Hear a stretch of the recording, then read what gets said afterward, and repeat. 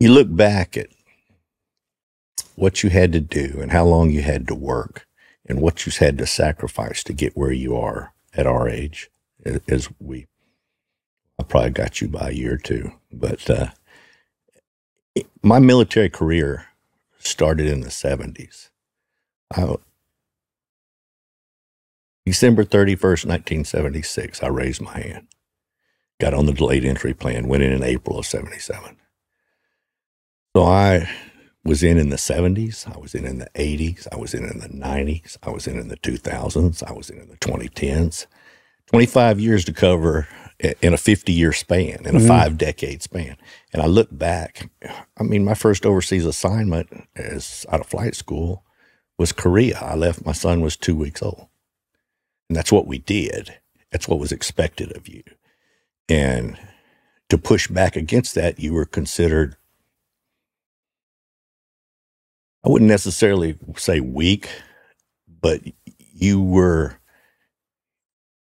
you were considered to be maybe a problem child because now we have to arrange things around you, right? And and uh, when you've got sixty pilots in a Chinook unit, you can't have everything arranged around one person or one small group of people. It has to be for the group. So you have to learn that you have to sacrifice to fit into the group, to make the group well. I think that's one of the things we've lost in the military now. Well, how common was it back then to have problem child? Because I noticed the difference towards the end of my career. The problem child's got more than it was when I first joined. Well, it just seems like the discipline. I think that's generational. Mm, yeah. I, I, not only that, but leadership. Uh, you know, it,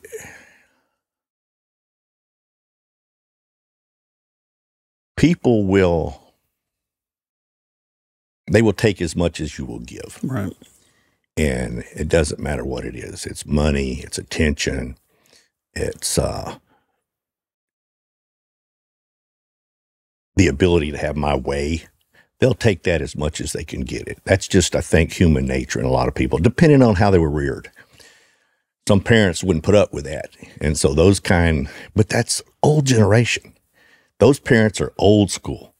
And that's the kind of parent I grew up with. My dad, career Army officer, and I grew up old school, getting my back end busted if I did something wrong, uh, with high expectations, school, education, that kind of stuff. And if you didn't meet those expectations, you, you paid the consequences. There were consequences.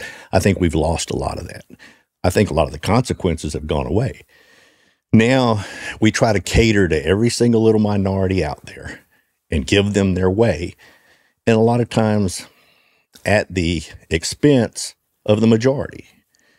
And uh, so, you know, if you're if you're the squeaky wheel and you're getting your way all the time, you're going to continue to squeak. Right. So it's like so. So I think that's kind of to go back to your question. I, I believe that uh, the military has gone down the woke road, and you probably saw this as well as I did, that it reached a point, um, that longevity of my military career stretching over five decades, I saw a lot of changes. And I grew up with my dad in the Brown Boot Army and the discipline in the Brown Boot Army. And most of that was still there when I went in, in the 70s, but I watched it degrade through the years. And it reached a point where good leaders were leaving the military because they didn't want to put up with the crap. They said it, because the ingratiators, the butt kickers, the butt kissers, not the butt kickers, the butt kissers were the ones that were getting the promotions because they'd go to the they'd go to the leadership of the battalion or the company or whatever. And, eh, I like it like you like it, and right or wrong and uh, and so they were the ones that started to get promoted and come up the chain of command, and they'd climb up that ladder of success by sticking knives in other people's backs to lift themselves up another notch. And those were the ones that were getting promoted and still are. And I look at like Milley, at General, that's a woke individual. And uh, he's the kind that stuck around and got promoted up through the ranks by doing exactly what I just described.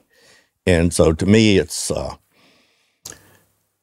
you got to recruiting right now. It's terrible. Why? Nobody wants to go in it. Why? Look at what it is now. it's lost its purpose. Everybody's hearing the stories of what's going on in there, and they're like, "Wow, Yep, don't want to be a part of I'm, that. I'm going to get stuck in that for." So you want you want to fix you want to fix some of the things we've got in the uh, issues we've got in our country. Put discipline back in it. You know, discipline's been taken out of the military. They tried to take it out of the police departments. They tried to take it out of the schools. They've taken it out of the family. They've taken it out of the churches. You better get discipline back in some of this stuff, or we're going to spiral downward, and we're going to reach a point we're not going to recover. I think we're close to that now. I do too. I do too. And my dad, Unfortunately. my dad, re- retired colonel, still living, be 93 next month, December. He has said a long time, he said, we won't reverse things until we hit rock bottom. And we're, I can see rock bottom from where we are now. I thought we were rock bottom a while ago, and it just seems to keep on getting more and more down. I'm like, well, Well, I maybe- look back at during COVID and the supply chain issues that we had, and the, the fact that uh, you you couldn't get toilet paper, you couldn't get baby formula. That's the kind of thing that that's the kind of thing that is rock bottom. And uh, there's an old saying. I I did a lot of work military down in South Central America, and there was a, a saying down there: "You're five missed meals away from a revolution." You, you want to make people mad enough to do something? let them and their family and their kids go hungry. Mm. That's what people will rear up. It's just like the mothers now in schools and their, the stuff that has gone on, for instance, in Virginia, in those schools. And what happened? It got a conservative Republican elected to the governorship of Virginia. Why? Because you angered Mama Bear. Don't don't anger Mama Bear. Mm. You mess with the Cubs, you've messed up, and it will come back and bite you in the ass. And I'm afraid that we are headed for rock bottom. And but then when we hit there, it's going to be it's going to be people worried about their quality of life, meals, uh, eating, feeding their families, having electricity in their homes, having the money to pay for that, and uh, it's. I I just think we're not quite there, but we're headed there strongly, and uh, I looked at the, this last election that we just had about a week ago, and the fact that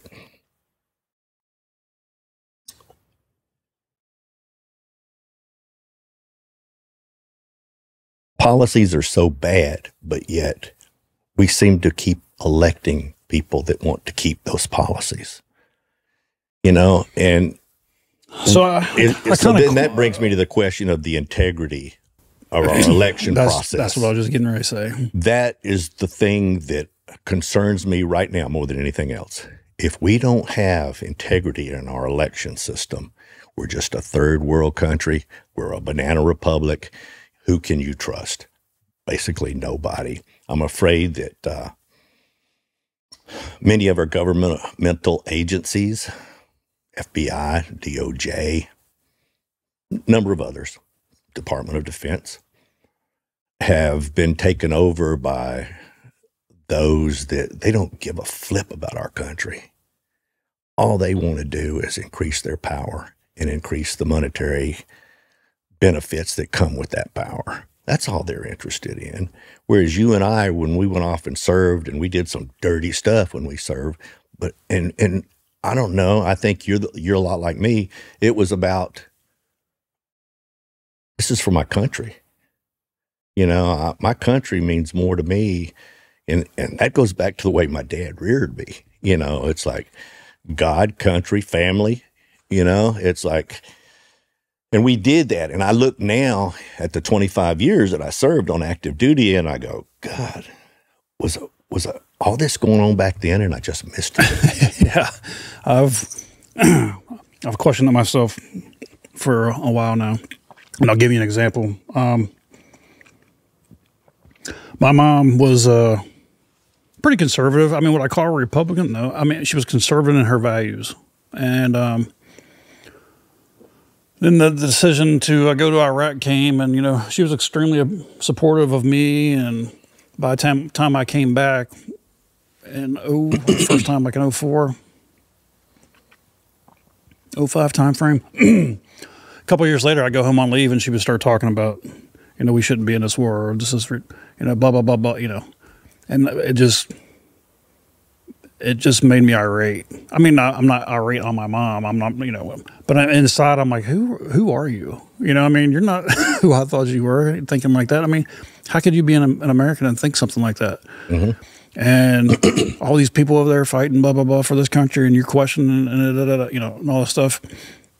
And unfortunately, she passed away um, in 20, and it was wasn't until the COVID situation until I started questioning everything. You know, I just I didn't really see. I mean, obviously, every government's going to have its issues and everything, so I never really paid that much attention to what was going on. But ever since I saw some of the stuff that was happening around the COVID, we can go in that a little bit more. But I started questioning everything. Sure. And then I started looking back, and I kind of started questioning the Iraq thing a little bit, but I really didn't put too much thought on it because every time I did it, I was like, you know what, that's in the past. I need to focus on what's going on now and in the future. But then I started really thinking about it. and I'm like, you know, she was right. we had yeah. no we had no business in that country. No, in my opinion. but yet, at the time when it was going on, and Colin Powell is presenting all yep. this evidence that right. we we should do this and these weapons of mass destruction, you and I were in the military, yep. and right, well, it's our it's our job to protect our country, and so we went based upon what we were being told because we trusted them. Mm-hmm. And, uh, you know, something that I've learned in, in all the traveling that I've done, I can go to China. Uh, I worked for Coca Cola for a while, flying the CEO. And uh, we did a lot of traveling. In all the countries I went to, I think Coke was in over 220 countries then. And so, all the countries I went to, one of the things that I carried away from all that was most of the time people get along. I got along great with the Chinese people. They were some of the nicest people that I had ever met on the street. And I, I can go to countries like Nicaragua, El Salvador, Honduras, where back in the day, all they wanted to do was kill us when we were down there during the Reagan years. And now it's, you're welcome. You know, everybody laughs and drinks beer together and has a good time it's not the people of the countries that are the problem. It's the leadership of the countries. Absolutely. And then you have to ask yourself, why? Why do these leaders continue to push their agendas? And these agendas too oftentimes lead us towards conflict. And what? Death of young people. Death of young people that don't really have a dog in the fight, but they're doing what they conceive as their duty you know, they see this as their duty because, like you and I, just like me and you in the time, we were told it's your duty to go do that. And we did it. We did it based on too often times based on lies. Mm-hmm. and conflict so, is profitable. It is. And whether it's the Democrats or the Republicans, you go back to the Eisenhower administration when he left, what did he say? Beware of the great defense industrial complex you know, it's once again, it's about money and it's about power. It's not about taking care of our country. My dad makes a statement that I, I've heard for years. In our country now, we have too many politicians and not enough statesmen. Yeah. No. You know, and what happened to the intent of our founding fathers? What what has happened to that? And I'm afraid it we have due to size, corruption, et cetera, et cetera, we've taken a turn somewhere along the way that was never what the intent was of this nation. The average citizen now has basically no say in the direction of our country. And then why? Because the big money guys do. They well, buy the direction that they want. Well, I think we give a lot of, we've given up a lot of our freedoms over the years for comfort. You know what I mean? What I mean by that is you know, if you're going to make something easier for me, then yeah, you go ahead and do it. I'm not going to bitch too much about some of the some of the freedoms that I have. Um, no matter what your what your opinion is on COVID, um, my bis- my biggest disagreement with it was a mandate for vaccination. Yeah, me too. And the way they're still pushing it. right, and the and the reason wasn't at the time I wasn't against the vaccine. Did you, get, did you get vaccinated? I did, I did not. I did not either. So, and I really wasn't against other people getting. I didn't. I didn't really have an opinion on it. But what really started bugging me was them trying to force you to do it.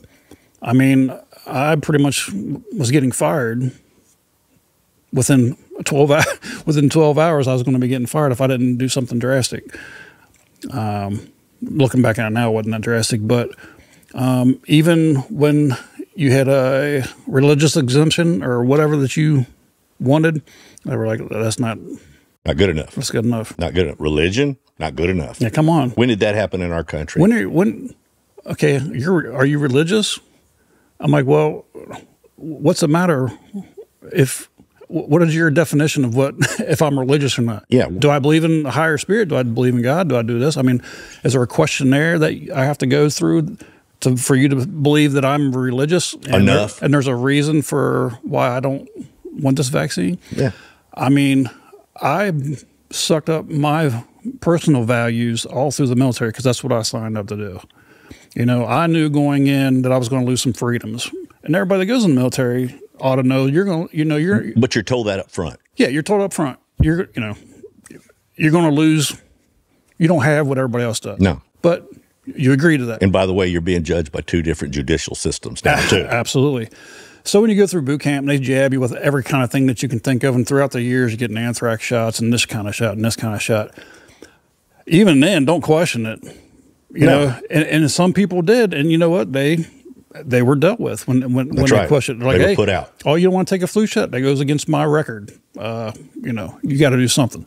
Now they were probably more um, apt to sign a religious waiver for you because hey, if that's your religion, because some of these vaccines do have some stuff in there that people Sure. don't agree with.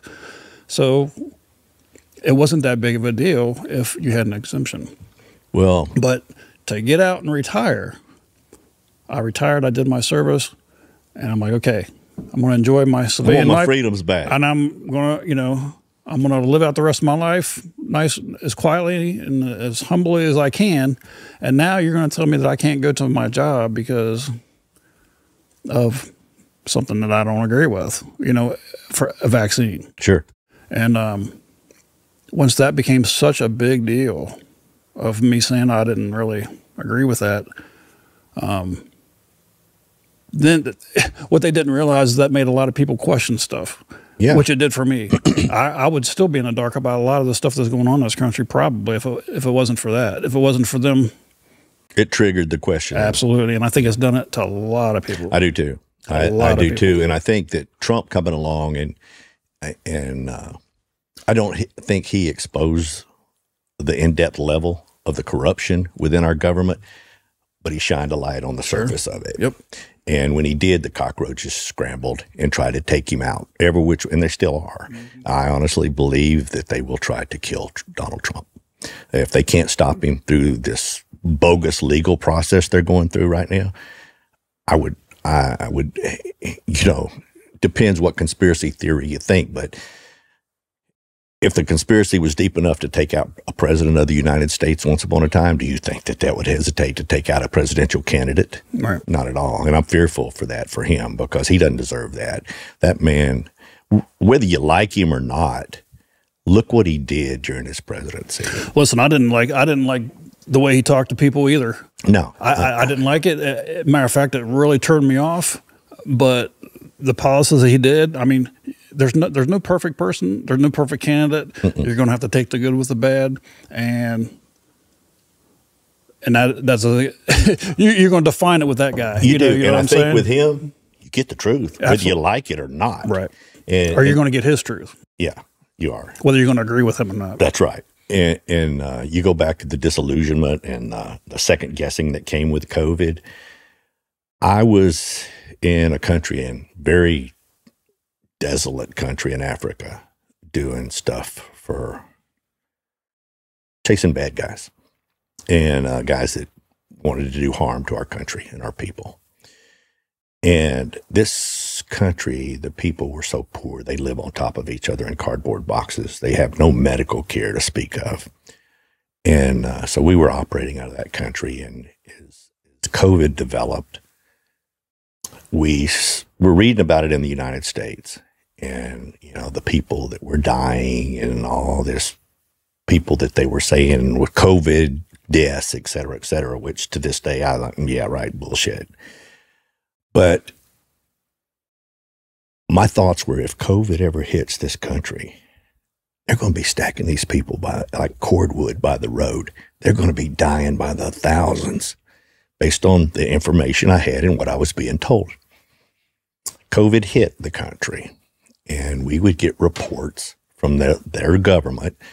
Well, X number of people infected, zero deaths. X plus 100 infected, zero deaths. X plus 500 infected, one death. And the ratios didn't add up to what we're being told in the United States and developed countries. Mm. So that's when I went, somebody's lying to somebody here. And that's when I really started to question that whole thing. And even to this day, the COVID thing, you know, okay, why do you guys really not want to expose where it originated? Why does our country not want to point the finger where it is? Why? Maybe there's somebody corrupt that's involved and they don't want because it'll splash back on them. That and then I came back when I left there. I, I was locked down over there, lived in a shipping container for four and a half months because we couldn't get out due to COVID, couldn't come back to U.S. because our airport that we were operating out of was closed for any incoming aircraft or outgoing aircraft unless we went and did our mission and came back to there. We couldn't land at any intermediate place. So when I finally got out of there and I came back, and my first stop in the United States was Dulles. And I got off the little train that takes you to the terminal. And I looked to my left and I looked to my right. And this is busy, one of the busiest commercial airports in the world. And there was nobody there. There was nobody to my left, all the way down that long hall, or to my right, to all those other gates. There was nobody there. And I went, What in the hell has happened to my country? Mm you know and and the more that i read and the more that i studied and the more that was that we discovered that's not true. They said that but that's not true. And i did like you did. And, and i've been doing uh, i think it i was already doing it but i think this sped sped me up. Uh, i was already extremely doubtful of our government and uh, things that i was seeing. I mean I, I I think for me, it really started when Obama weaponized the IRS and started coming after conservative people. And, and granted, I'm a conservative. Uh, I don't think that people would say I'm a radical conservative that know me. They know that uh, I'm a reasonable person. But uh, when I saw that in, I think her name was Lois Lerner, was the IRS lady that weaponized it against certain people she got off basically scot free. Mm-hmm. Nothing, nothing. And that's what I see is nobody is being held responsible for anything. You can talk Republicans, you can talk Democrats. Nobody's being held responsible. They're talking now about subpoenaing, subpoenaing, issuing subpoenas for Hunter Biden. Really? We're three over three years into this president's tenure, and now you're talking. I don't trust the Republicans any more than I trust the Democrats. Nope, I agree. They're politicians. They've got up there. They do what's necessary. They say what's necessary. Goes back to what my dad said. You got a handful of statesmen and a lot of politicians. And so, no, I'm I'm with you on that one. I, my our government is, I don't trust them. It's a shame, and uh, I don't know what it would take to regain my trust. I was going to be my next question. What's it going to take and you said rock bottom, but where where is rock bottom? I mean, I thought we hit rock bottom a couple times now. I thought I think rock bottom is when people are so needy for the basic necessities of life that they come trying to take them from you and me and people that have prepared. I think that's when we know we've hit rock bottom. When the when these that are doing some of these things that they're that's happening in big cities now starts to come to the suburbs, starts to come to the rural areas, that's when we've hit rock bottom uh, people want to take what's yours and what's mine, and they're desperate to do it. It's not just doing it because it's the easy way. It's doing it because maybe they've got to feed their family back somewhere. That's when I think that I would call that rock bottom. And they can't get food. They can't get baby supplies. They can't get medical. And we saw a glimpse of it during COVID. No. And uh, but we've recovered to a degree, but I don't think people understand how fragile the supply chain is. It doesn't take much, and they'll throw it all out of whack. When it does, I kind of question. I don't know enough about it to to speak intelligently about it, but it just. I understand that the supply chain is fragile. However, was it made that bad? What I mean, eh, was there really not toilet paper around? are, are you asking if some of it wasn't intentional? Well, that's a question I have. I'm not. I- I'm I not saying some it of it was, but it's it's a question. I mean, you know, everybody's grabbing nine or ten things of toilet paper, and that's why we don't have any. I'm like, well, you know, Maybe we brought some of that on ourselves. Yeah. Panic. yeah, Well, you let things get worse, right, the panic gets worse. sure, And uh, you know, you've seen it. The military, we've been in places where we saw panic in the local populace. We know what that does. Mm. And uh, I think if we get to that point in this country, and I don't think it's that far away, but if we do, it's going to get very, very ugly. 1970 went in the army. 77. 77. What made you do that? Because you're obviously you have a, your family's background is military, but You know, it's funny. I graduated. My dad was stationed with NATO when I graduated high school. I graduated high school in SHAPE, Belgium, and uh, I I did well on my ACT and SAT. I, I goofed off in high school, but my ACT and SATs I scored very very high, and I had the I had the option of going to one of the military academies, and uh, and I got accepted to several major universities. But my dad had attended a small college in North Alabama. And to me, that's all I wanted to do. Well, before before I uh, left, my dad sat down with me, and when we were talking at colleges and all this, and he said, "What are you going to do? You're going to go to the to the this military academy?" And uh, I looked at him and I said, "No, Dad." I said, "I was born the year you were on active duty." I said, "I don't want to ever have anything to do with the military the rest of my life." right, And that was when I graduated in 1971. And so I went back to that school and I still had more play in me than responsibility or maturity. And uh, I- they didn't like me. Uh, it was winter and I didn't have a workshop. So all I had was a little motorcycle. I took it up to the eighth floor and worked on it in my dorm room. And yeah, I'd probably got away with it, but uh, they didn't like me riding it around, just check on the floor to make sure it was fixed. So they kind of booted me out of this out of the dorm. that's kind of extreme, isn't it? Yeah, I thought that was rather extreme, Yeah. but uh, you know, I didn't do well that first year of college. I goofed off, so I kind of quit.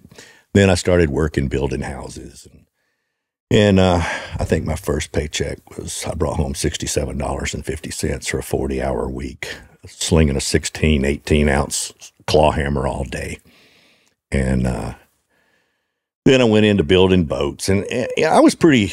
I was had a wild streak, and I was doing some things I shouldn't have been doing, and and uh, but my dad and my mom came from small towns in Alabama, and my dad was a, a disciplinarian, and I was out from under their wings for the first time in my life, and I didn't know how to handle all that freedom, and I did a lot of goofy, stupid crap, and uh, but I kind of waded through all that. And then in 1974, uh, my mom and dad and sister had come back from Belgium, and uh, he got a assignment overseas by himself to Thailand, logistician, and he went over there in '74, and my mom decided to go uh, visit him over there. And she left me and my sister for the longest that she had ever left my sister. And my sister got killed in a car wreck while she was gone. 17, had just graduated high school. I was only, as we were the only two kids. And so that was pretty, that was pretty devastating to the family. And uh, my dad came to me and he said, Look, he said, I got a compassionate reassignment to Atlanta. Your mom really needs you. Would you be willing to come back home for a while and go to school? I said, Yeah. So I did. I moved back in and uh, went to Georgia Tech and went for a couple of years to Georgia Tech. And, and then uh, kind of dawned on me looking around this is an engineering school. And I was working, to, I wanted to be an aeronautical engineer.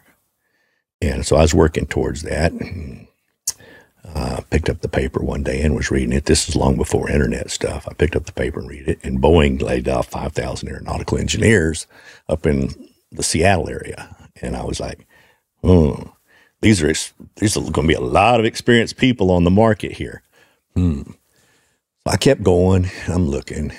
And then one day, and you got to remember, I'm like a 21 year old kid at this point, and uh, driven by the hormones of a 21 year old. I look around Georgia Tech, there's 12 to 13 guys for every girl on campus, engineering school, and I'm like, this is, mm, mm, I don't, this is, um, this is not for me. So I thought I'd improve my odds and join the army. Yeah, right.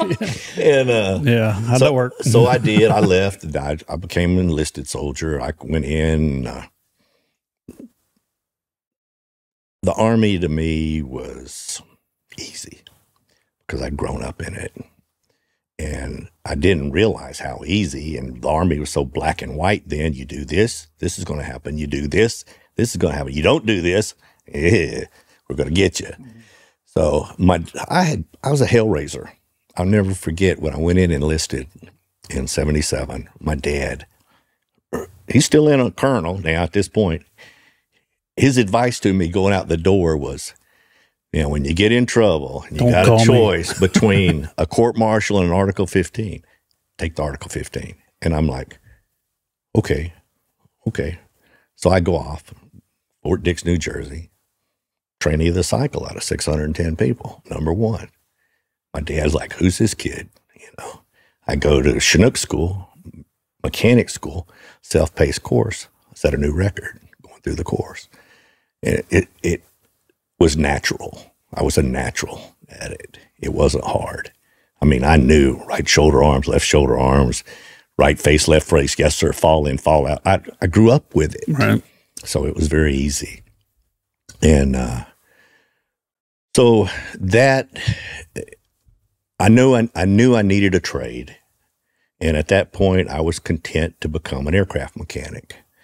And uh, I had really had no higher aspirations than that. And I went in, I did three years. I served in uh, Chinook units. I uh, started off as a mechanic on a maintenance team. Then I went, became a crew chief, then a flight engineer. And uh, was you single this whole time? At the, yeah. at the beginning? Yeah. My entire enlisted was single. And uh, so I, I stayed until 80 and uh, the Army tried to get me to reenlist. And I said, no, want to, didn't want any part of the military again. So I went and got my FAA airframe and power plant license so that I could work on aircraft, and I did. And uh, when I was working on them in the Army and flying on the airplanes, the aircraft that I worked on, I got a lot of job satisfaction out of that. Well, when I ended up just being just being, and I don't mean this derogatorily, a mechanic. And I couldn't fly on the airplane, the aircraft that I worked on anymore. I'd fix them, and some cocky young ass pilot would come waddling his ass out there after I've worked on it all night, and fixed all the deficiencies. He'd come waddling out there, not so much as a thank you, kiss my ass, whatever, and get in, take off, fly away. And I was like, mm, I don't like this. I don't like this. So the Army kept sending me stuff, wanting me to come back into my old job. Oh, we'll give you your rank back and all this stuff. So one day I was on the way to work for a helicopter company in Lafayette, Louisiana, and I drove by a recruiter and I had this stack of stuff that they had sent me. And I went into the recruiter's office and I said, laid it down on his desk and said, Get me off your mailing list. he said, What? I said, There is no way in the world that I would ever consider going back in the military. Really nice guy, E7, black E7, nice guy, great guy. And uh, he let me get about halfway to the door. He said, Okay, I, I can't guarantee you I can get you off the mailing list, but I, will try. I promise you I'll try. He let me get about halfway to the door and he said, uh, well, Mr. Barnwell, what if I could put you straight into flight school? Well, this on the heels of not having a lot of job satisfaction, watching these cocky little pilots do their thing. I, he said that, and my head said, "Keep walking, keep walking," and my heart said, "Stop and listen." No. Four months later, four thirty in the morning, I'm getting yelled and screamed at at Fort Rucker, Alabama, by TAC officers. Right. So, and at that point, I said, I've got a six, I don't remember, six or seven year commitment after flight school. And it was like, uh, okay, I'm going to, I'm going to be at 10, 11 years. I can retire at 20. I think I'll just stick around and, and do it. And, and I did well, you know, in the military, I did well. Became an instructor in every aircraft that I flew. And, and, uh, so He was a mechanic on Chinooks. Did you go back and fly Chinooks? Or did, I did. did uh, my flight school class, I started with 74 people. Uh, 12 of the originals graduated on schedule. Others, some got eliminated, some got set back. But uh, I was, I thought, you know, at the, I, I don't know when you went through, but the way they did it with us is DA would select what airplane you went to, what aircraft you went to. The Chinook transition was given to the TAC officer. We had one Chinook transition come to my class, and it was given to the TAC officer to decide who was going to get it. So he walked out in front of the flight one day and he said, How many of you have Chinook experience? And there was about four of us raised our hands. And he said, Y'all come to my office. So we went to his office and uh, he said, Okay, what'd you do? Well, I had eight months in Chinooks and I worked on a maintenance team. We went through each one of us. I had the most experience. I'd been three years. And he looked at me and he said, You pass your instrument check ride, which was coming up. And you remember those. That was the one. That was, for me, that was the most fearful check ride we took in flight school because the bank would always come to you and go, We're here for you. We'll give you a loan. We're here. Anything you need, car, house, you just come see us after you pass your instrument check ride. They build that apprehension up from day one back then. So, mm. so uh, my TAC officer was a guy named O'Hare, and he said, "You pass your instrument check ride, you got the Chinook transition." So I did. Bounced right out of flight school into Chinooks. Went straight from there to Korea as a W one. I was the I was uh, uh, I became the first W one PIC in that unit since Vietnam which uh, there was two of us, and we competed to see who was. So, people that don't know what's a PIC, pilot in command, pilot in command, and uh, so it. But I was very fortunate in all the that Chinook unit that I got sent to.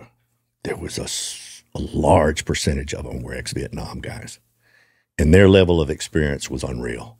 Imagine, and and I sucked that up like a sponge.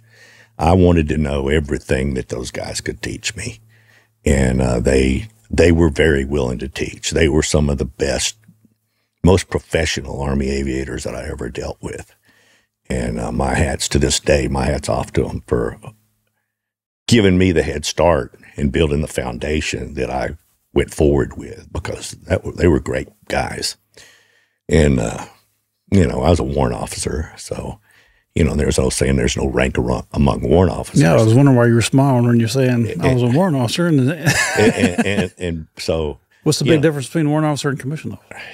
Well, warrant officers now are commissioned officers. They changed that. Right, right. Uh, while I was in. But back then, there were certain things that a warrant officer couldn't do that a commissioned officer could do hold command, administer uniform code, military justice, punishments you couldn't do that as a warrant officer. You basically were expected to be an expert in your field, and my field was aviation. and uh, I worked hard to do that. But later, I don't know, maybe eight to ten years later, the military, the army, commissioned warrant officers. So at that point, Yeah, Warrants could do W it. two, right? Uh, Uh, CW two, I think, is where they become commissioned. uh, back then, no, back then they didn't even have that gateway to commission when I was in there. They passed that later, eight to ten years after I'd been a warrant. I think I was a W three when they I had to do the commissioning thing, and uh, little prejudice here. That's just the way that the army gets cheap labor.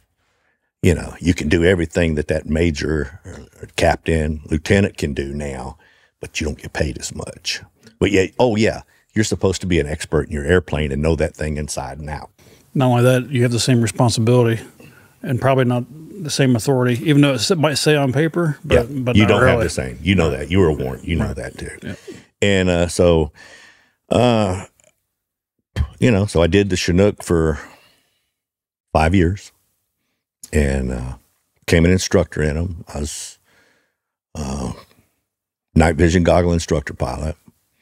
Mm, I used to have a lot of hair and be better looking before those days, but the Army had come out with, and you got to remember, this isn't too long after Desert One and the Iranian deal, and where they took our people and kept them for 400 plus days.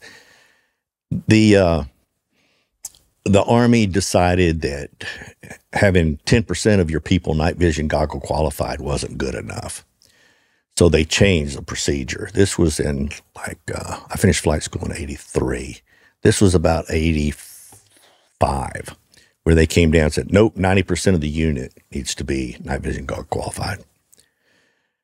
Two years, I did nothing but night vision goggle qualifications. I used to tell the guys that get in there, and oh, you know, first time they've really been exposed to any night vision goggle stuff since the little small thing we got in flight school.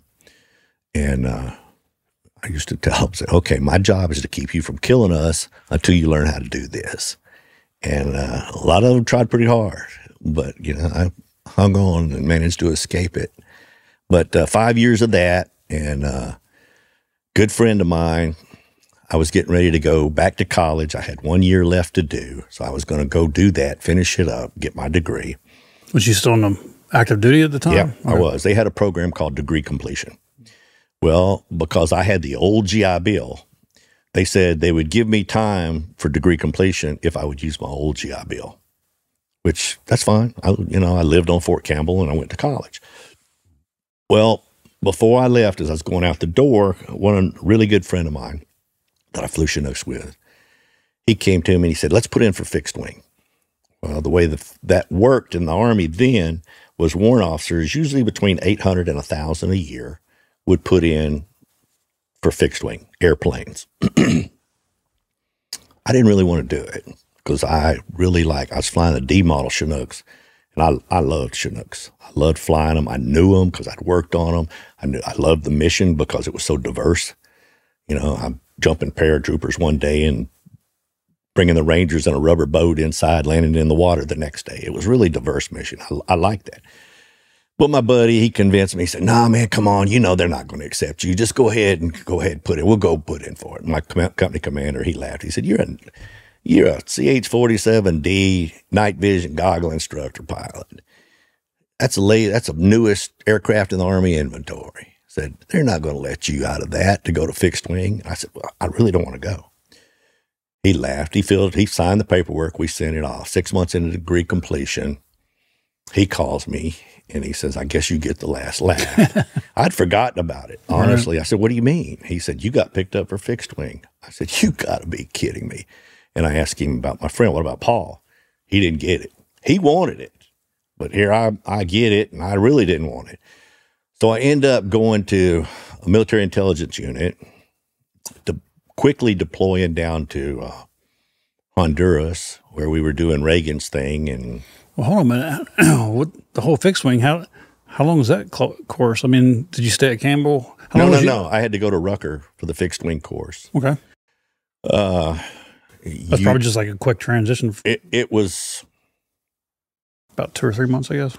yeah, it was about two or three months total. You went down and you flew a, a small single engine for a while, and uh, with an instructor, of course. And then they transitioned you over to twin engine. You flew that for a while. And uh, then they put you in another single engine. You went out and did spin training and all that kind of stuff. I think the whole thing took 10 or 12 uh, weeks total. And then you get your first assignment. My first assignment was a military intelligence unit down in the southeast. And uh, I showed up and got my family settled and packed my bag and got sent TDY down to Honduras, where we were doing we were exploiting certain things against certain countries down there in support of Reagan's agendas, and uh, did that. The airplane, the airplane that I got put in, no autopilot. I mean, Chinook didn't have a really three axis autopilot, but it it was pretty stable. You didn't constantly have to work with it. I, I guess where I'm going with that is the airplane that I got put into made Chinook looked like the Waldorf Astoria. Right. And so, and, and we were flying at uh, altitudes that mandated oxygen because the airplanes weren't pressurized. So we'd have to pre breathe, carry that thing to the airplane, hook up to the air oxygen, go out and fly for four, four and a half hours, sucking on a hose. And uh, so did that for a while and, and became an instructor in those. And, uh, then the Army, uh, coming out of that unit, the Army was fielding a another aircraft system. Was a four-engine turboprop with counter drug application, and it had been requested by Southcom in Panama. It was the first four-engine aircraft the Army had had since the Army Air Corps, and so there was a lot of pressure that the Air Force didn't want it to happen. And so everybody that they picked to fill that unit, to make that unit, and we did, it was a stand up, was handpicked. So can I ask, let me ask a question. Why would the Air Force not want that to happen? I mean, I know the answer, but I want you. I want to hear you say it. Okay, is this where I take off the, the tactful uh, way? Because Air, Well, the Air Force has an uh, has an air mission, and if somebody else picks that mission up, then that interferes with what they're, what they're doing and the money that they get. That's I mean, a brief, that- that's, a that's a brief very synopsis. base- right. That's a brief synopsis that uh, is very courteous on your part. Well, hey, I'm trying to be courteous. and uh, the uh, the they didn't want the army to have it because oh, army pilots are helicopter pilots. They should be even flying airplanes. Right. Well, they forget it was the Army Air Corps before it was the U.S. Air Force, and uh, Army pilots did a pretty doggone good job. And uh, but anyway, we were handpicked. We went on. We fielded the system. Uh, did very very well. We took it. We deployed it to uh, Panama, and we were very very effective with it. And uh, then coming out of that, I knew that was going to be my last assignment. Well, that was my plan. Was that was going to be my next one after that was going to be my retirement. How many years do you have in, at that time? I had about 18 total. So uh, I called my career manager, said, Where's my next assignment? And s- she said, What do you want? Because I was, you know, I was W4 by this time. And uh, no, I wasn't. I was still a senior CW3. And uh, she said, What do you want? Where do you want to go? And I said, I would really like to go to the FORSCOM Flight Detachment in Atlanta, Georgia, because my aspirations after retirement was to go to work for Tennessee Valley Authority and fly a small helicopter and inspect power lines. That was it. That's what I wanted to do. I wanted to retire. I wanted to land my little helicopter by Hardee's every now and then and walk in and, you know, and, and uh, it didn't quite work out like that. She said, No, I can't put you there. You're an instructor pilot. I got to put you where I can use you an instructor pilot. I said, Well, I'm also a school trained safety officer. Put me there. And she said, uh, Nah, they already got one. I said, Okay. Obviously, you asked me, but you're going to put me, you know, the Oh, yeah, but you're going to put me where you need, where you want me to go. And she said, I want to put you at Fort Belvoir in Washington, D.C. And I was like, Oh, hell no. I don't want anywhere near Washington, D.C. Well, did you? Well, did you ask what you were going to be doing? Yeah, I was going to be an instructor. Well, I know, but where at? Fort Belvoir at at uh, Davison Army Airfield. Mm-hmm. I was going to be flying C-12s, flying which is King Airs. Yeah, but what did you end up flying? Yeah. I, I, I'll let you tell the story. Did I end up flying? I, well, I'll, Well- I'll let you go. I know where this is going, but I just want to. I, I ended. I told her. I said, "No, if you're going to send me to Washington, don't send me to Belvoir. Send me to Andrews. Put me in the jet detachment." First thing out of her mouth was, uh, "Oh no, I could." Oh wait a minute, you got a very very competitive record. I said, "I'll call you tomorrow." So okay, she calls me back and tells me, "You're going to Andrews Air Force Base." To the Army's only back then, Army's one of only two jet detachments that the Army had. Only Army flying jets. Oh, that's another thing Air Force didn't want. yeah, you better not put that army uniform on. you. Oh no! so I end up going to Andrews. Uh, flew Lear jets there uh, for became an instructor in those for the first year. That's all I did. Instructed in the the Lear. well, why was you flying jets for the army? Why? Yeah, I mean, who was you VIP flying? support. VIP. VIP support. What kind of VIPs? Like army VIPs or just Congressmen, senators, uh, vice president, secretaries of the Air Force, secretaries of the Army, uh, big, we call them bigwigs. You know, the the big, the politicians. That's another thing. Boy, you talk about change. I watched out my front windshield many times, sitting there in the front, waiting on them to board. I watched the glad handing and the bat, the back padding and ah, that's the greatest thing. Then they'd get on that airplane door would close. that guy's an asshole? Oh Lord, the difference is the personality shifts. That jerk, I can't stand that sob. You know, it's like, and and there was a. Here's I got to be careful here. There was a female that was married to a pretty important person, and uh, he was the one that actually held the position, and she wanted things like she was campaigning around for things like warning label, warning labels on CDs and video games. Woman had a gutter mouth. She'd cuss worse. I've, I've watched her cuss out a steward, and it, it, it embarrassed a Navy guy, the language she was using. And so I, I watched all in the, the hypocrisy, and it was like, I get it. I get it. And so that just feeds into what we were talking about earlier. You know, uh, they don't care about this country. I saw a hundred thousand dollar modification have to be done to the 757s when they first arrived at, at Andrews. Why? Because a president's wife's hips brushed the door when they went into the VIP restroom. Go back and look. Go back and see if the 757s did come to Andrews, the first ones, and then have to go right back to Boeing to have modifications done for that. Wow. So, uh, you know, I, I saw all that. But so I did the, the Andrews Air Force Base thing and I flew Gulfstreams. I flew some very, very nice airplanes. I got some very, very nice missions. That was the whole time you were active duty. Yeah, that was all active duty stuff. And when I left there, uh, that's when I left and went to Coca Cola and when I retired. And so I thought that was it. I had 20. Did you have that lined up before you retired, or was Yeah. that? Well, I lined it up the last year Okay. before I retired. I got hired like six months to go. And uh, Well, before we go there, I saw some pictures of you when you were. Can you give any names of the guys that you were flying that last year in DC? in DC,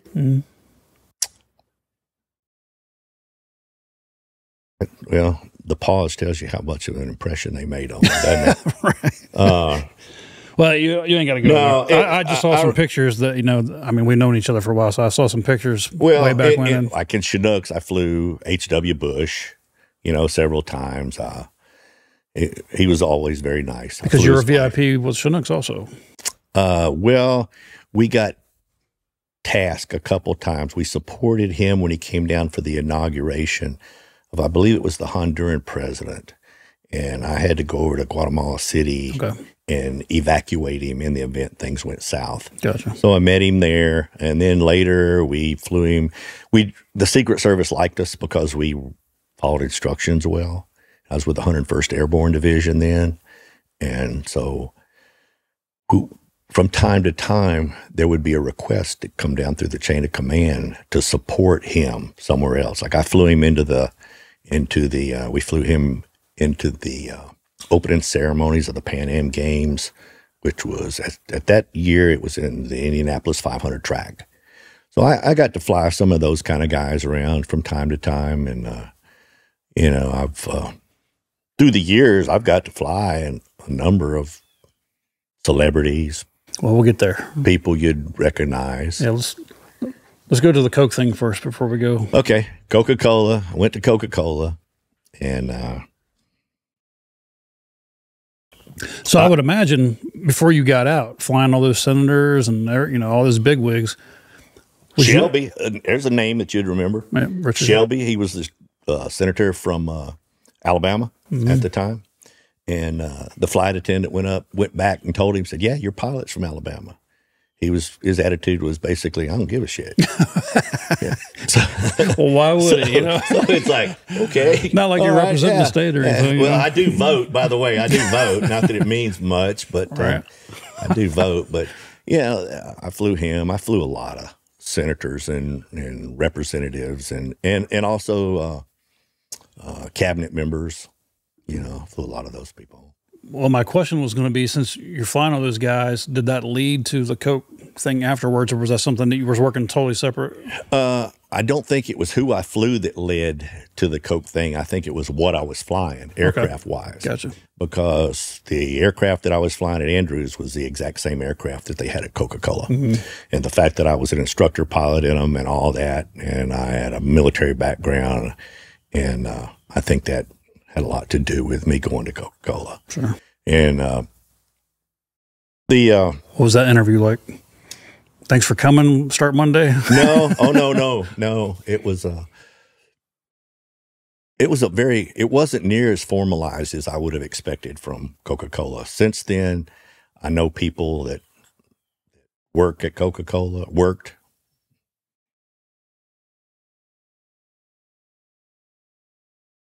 I don't want to bring any heat on somebody. So I'm just thinking, I don't give a shit. My wife worked for Coca Cola. It can be a, for thirty about thirty five years. Yeah, and uh, I I didn't know her when I went to work for Coca Cola, but uh, the process is much hiring process to go back to what you asked. The hiring process now is much more formalized than it was back then. It was pretty flippant. I went down and talked to a senior vice president that was head of the aviation department. He asked me a few questions and, and then I had to go in front of three people and they asked me questions and I'll give you an example. Uh, this one, this one kind of tickle me. Uh, they're reading. I'm on the other side of the table and they're reading their stuff. Have you ever had to work uh, on uh, using team concepts? and I'm like, do you not see my resume? I just spent 22 years in the army. All right. Uh, you know, there is some team play there from time to time. But I said, oh, yeah, I have. And they asked me, and of course, give me an example. Well, we had to develop this or we had to develop that or we had to go in and do something. Well, they probably had no no military experience at no, all no. to be able to ask something like no, that. No, they yeah. didn't. So I explained all that. And then the question was, I'll never forget, well, did you have anybody that was you considered troublesome on that team? That, and, and if so, how did you handle them? So, you know, yeah, you go, these generic HR questions. So I, I wade through all that. And, and so after that, then uh, I went back to, I was still at Andrews. So I went back to Andrews and was flying. And I got another thing where they wanted they invited me back down and wanted me to go to the aviation department. And I did. And I went out there, and the chief pilot sat down across the desk from me and he pulled out a piece of paper and he wrote a number down on it and turned it upside down, slid it across the table like you see in TV shows, and, and said, uh, Would you come to work for us for that? And I was like, So I grabbed the piece of paper and picked it up. Compared to my military salary, it was good. And I was like, oh yeah, I think we can work with this. Well, that great, like I, have told you before, that worked great till I got my first paycheck mm. and realized how much harder you get hit for taxes as a civilian versus in the military.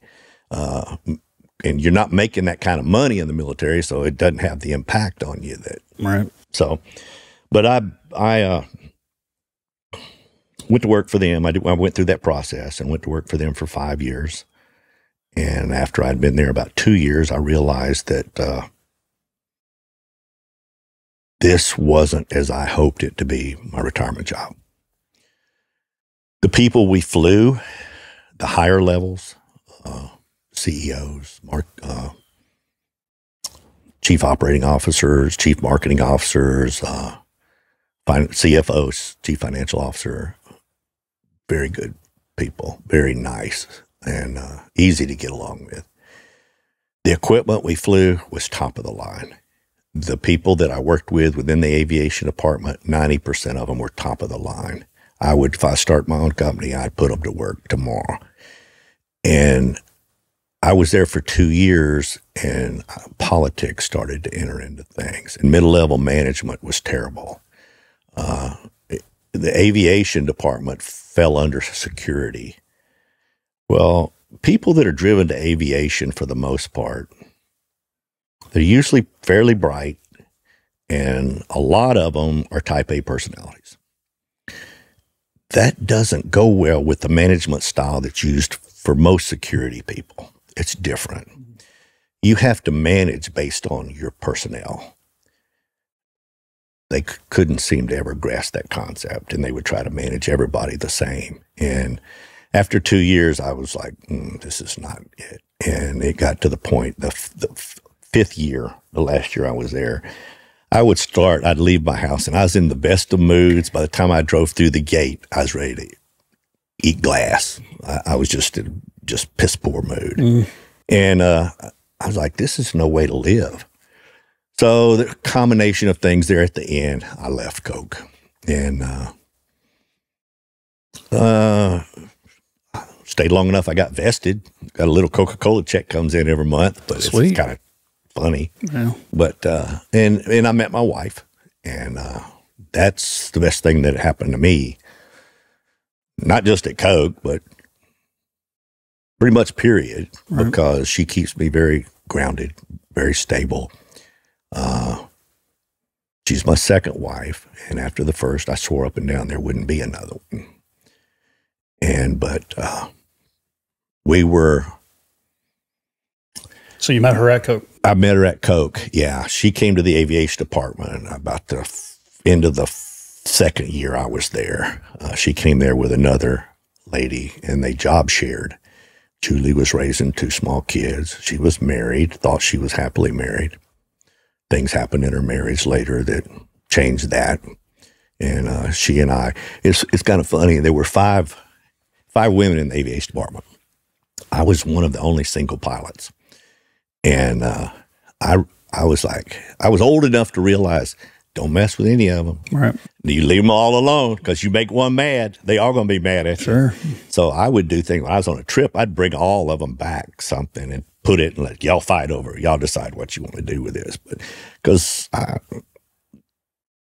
they were good to work with, they were professional, but I didn't want to make any of them mad. And, and so uh, later, when uh, Julie's life, her her marriage went not her life, but I'm sure her life to a degree, but her marriage went south, and uh, after that was direction was established uh, she and I started seeing each other a little bit, and I was like, and she, at work, she was like, I was like, nobody's this nice.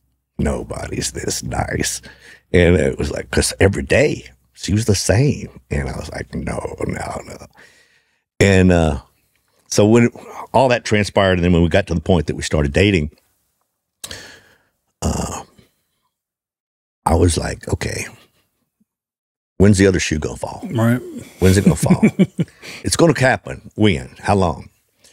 And uh, we dated or were engaged for five years, and that other foot, that other shoe, never dropped. And I went to myself. I said, "Well, if I'm ever going to consider getting married again, I don't think I can beat this." And uh, that's what I thought back then, and I still think it to this day. Mm.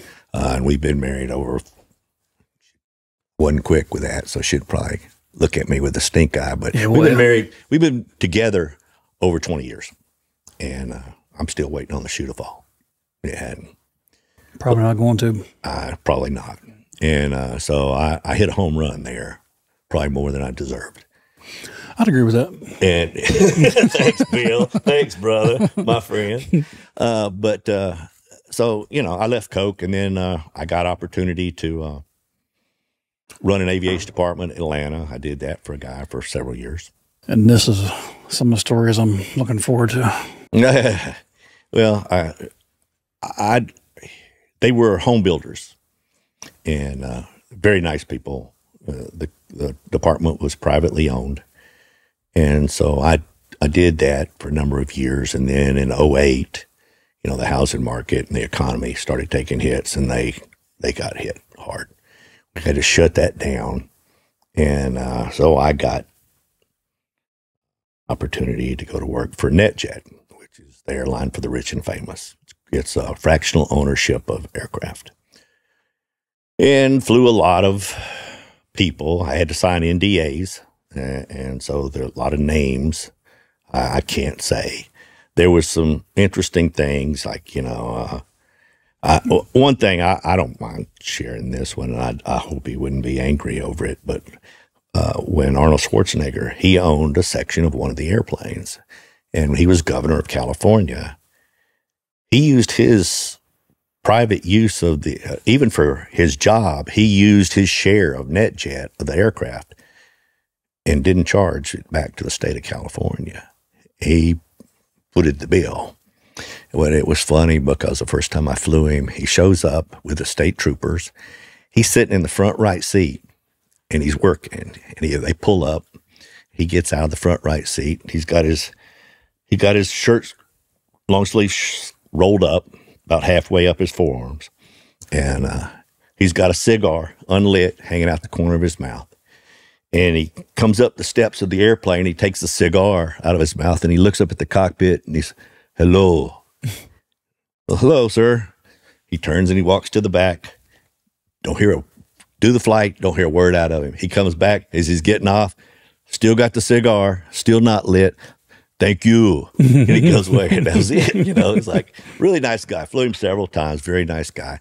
There was some people I flew. There was one woman, and I won't mention her name because I'd get in trouble but everybody thinks she's kind of neat. She's kind of special. Meanest woman I ever met in my life. And, uh, and uh, she's, uh, her staff was so afraid of her that they wouldn't even get up out of their seats till she had got up and walked to the front of the airplane. Well, you can't say name, but can you say the industry? Like musical industry? Is she a lot of hospitality, uh, not uh, not hospitality. She produces a lot of home type products. Yep. And uh, she's got some relationships that people would look at and go, well, that's an unusual relationship. But uh, she was, she was very, could be very mean. There was another, there was a, there's a lady that I picked up in Rome. One of my last flights with NetJet. And uh, transported her from Rome to Nashville, Tennessee. Her husband is a well country, country western singer. Right. I thought it was so neat. We pulled into the ramp with the airplane like 4:15 in the morning, Nashville time. He's there in the pickup truck to pick her up. I thought that's pretty cool. Yeah. You know, he could have hit, sent limos or whatever. No, he was there to pick her up.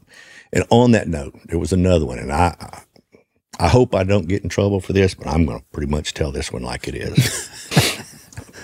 Here we go. I, I picked up uh, two people and their wives in the Greek islands. One of them is uh, a rock and roll singer,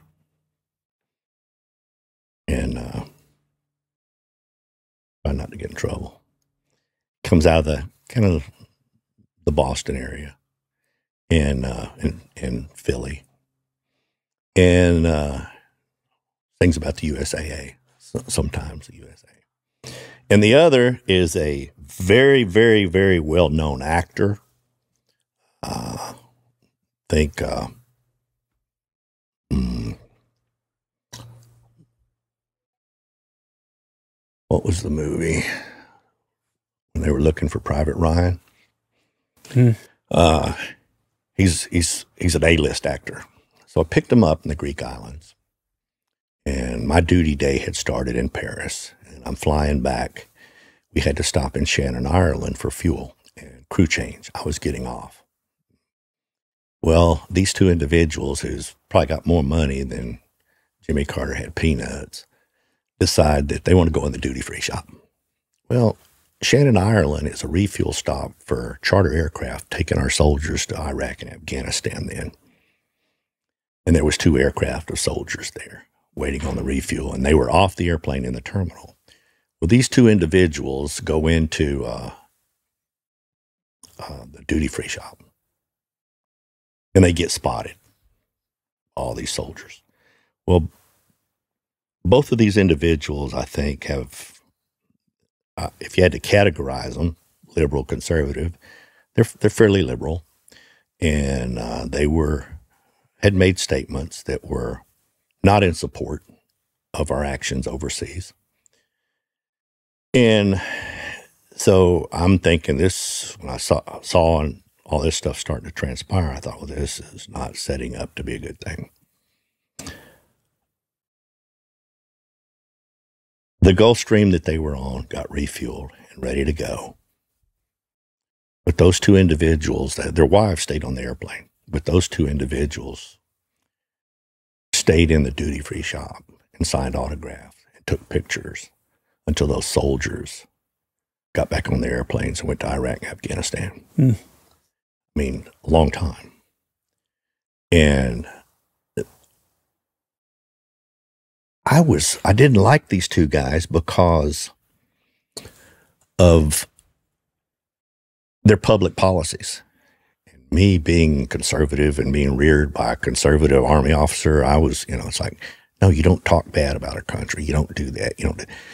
But then when that event occurred, I thought, how cool. They don't support the war, but they don't blame the warrior. How cool is that? Yeah. You know, to me, that really impressed me about Mm. those two. And even today, do I support their politics? No, I don't. But they put these people above their politics, which that impressed the hell out of me. And later, was they, no- they got back on the airplane, went went on. Yeah, but but no- they could have got any time. They could have gone out there and got on the airplane and left. Yeah, no cameras there, no, No. publicists. No, no. And, and there's probably very few people know that story. I guarantee you, all those GIs that were on those two airplanes know it. Yeah. You know, but uh, it it goes back to once again talk about judging a book by its cover. Uh, my dad was in the army and went to Vietnam, and I don't remember what if it was while he was in Vietnam or shortly thereafter. Muhammad Ali declared himself to be a conscientious objector, and uh, at the time I was a young kid, and I thought, put him in jail, put his ass in jail. You know, if he won't go support our country, put him in jail. But he said, you know, eh, the reasons that he gave for not going, to me, I was like, that's bullshit. That's bullshit. You know, he needs to go just like anybody else. I mean, Elvis Presley joined the army and went overseas. He's no better. Years later, when I was at Coca Cola, I had a flight and I flew Muhammad Ali. And first off, he shows up and he's he had Parkinson's and he was very soft spoken, but he was just as nice as could be. And he's wanting to, he, he loved to entertain. He loved magic. He, you know, as he's getting on the airplane or waiting to get on, he'd do magic stuff, you know, and uh, and entertain people. And uh, I, I I thought about it more after I met him, and I thought, you know, if he had flipped back the other way after he refused to go, but he didn't. hmm He stuck with that same philosophy and his same thoughts and ideology for the rest of his life. And I thought, you know, he gave up some of the most prime years of his career for a belief. hmm Whether I support the belief or not, th- that impressed me. And uh, I was flying him. Uh, two two things that stuck out to me about flying him. A lot of stuff did, but two things in particular. One, flight engine flight attendant comes up to me, and this was a former Air Force One flight attendant, extremely good. And uh, he said, "Man, he's back there reading the Bible." And he said, "Any Muslim?" And I said, "Yeah." And he said, "That makes sense." So, you know, several hours, and after a while, the flight attendant comes back up and said, "I asked you, why are you reading the? I thought you were Muslim, sir. Why are you reading the Bible?" And Ali looked at him and said, Well, he said, I've read the Bible cover to cover six times.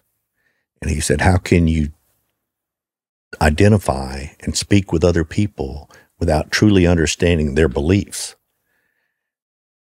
I was like, Wow. Yeah. Wow. That's impressive. And the other one was the other thing he did, which was kind of cool. This wasn't as impressive, but it's kind of cool he uh, we weren't allowed to ask if we could have pictures taken with him. That was against policy. His after we landed, his uh, his aide manager comes and says, "Would you guys like to have your picture taken with Muhammad Ali?" Absolutely. So we go over there and we do the thing, standing side by side, and the hands on the shoulders. And then he's he's he's sitting there, that head nodding, you know, and he he looks at me and he goes. So I'm like, uh oh. So I go over to him. He poses me. Do you remember the Rocky, the first Rocky mm-hmm. movie where at the end, Sylvester, uh, Creed, and Balboa are swinging at each other and right. they stop, right. stop the movie right there. Yep, for part two. He posed me like that. Yeah. And then he gets on the other side. And so I've got this picture with me and him in boxing stances, and I'm throwing a right hand towards his head, and he's throwing one towards mine. Yeah. I've got that picture, mm-hmm. and to me, that's like that's yeah. that's gold. I, I look, but the thing that that I, when I look at the picture, I think that's great. I flew him, I met him, that's cool. But I look at the picture, and you can see the size of my fist. It's not big, but it's not little. But in that picture, his fist is about that much bigger yeah. than mine. And I kept thinking, man, can you imagine in his prime getting hit by that thing as fast as he could? Sledgehammer. But yeah, it's unbelievable. Mm. But super nice guy. Wherever we took him, I flew him three or four times. Wherever we took him, he always drew a crowd. And he always was very hospitable to the crowd. And uh, I remember I landed him up in Kentucky one night, late at night, and there was a woman there. And she was standing by the gate. I don't know how in the world she knew we were coming in. But he walked by and she said, Mr. Ali, she said, I have Parkinson's too. And I want, just want you to know that we can live with these things. And he stopped and hugged her.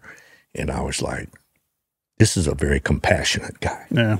yeah. And, and uh, he impressed me yeah. very much. But uh, anyway, so that's how you, yeah, you may judge somebody but maybe you don't know the whole story. Sure. Maybe no, there's don't. more to it. And so maybe, usually a lot more to it. Maybe you might want to explore a little bit.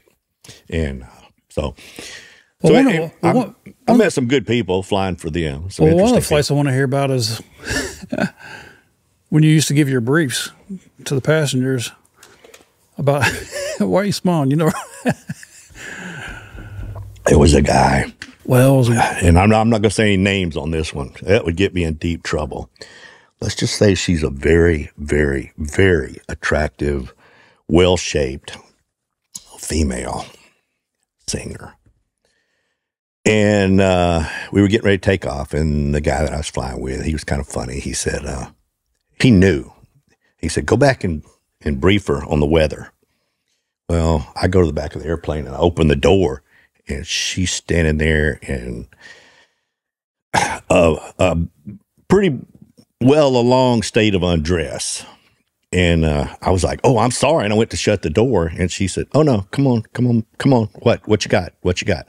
Well, her aides are helping her change clothes, and I'm trying to be just as professional as I can. But she was a very beautiful woman, mm. and uh, you know, well, the weather is going to be really hot. so, but uh, that was, and then I came after I briefed her I went back up and I sit down in the cockpit. The other pilot looks at me and he goes, Pretty nice, huh? I was like, You knew? He said, Oh, yeah. Ever flight, ever flight. Yeah. But uh, so that was a flying for them was a very unique experience. You know, it's, I met a lot of, uh, you know, some of the rich and famous are very nice. Some of them are total assholes. Yeah. Uh, there was one guy in particular that I'll never forget uh, that heavily involved with uh,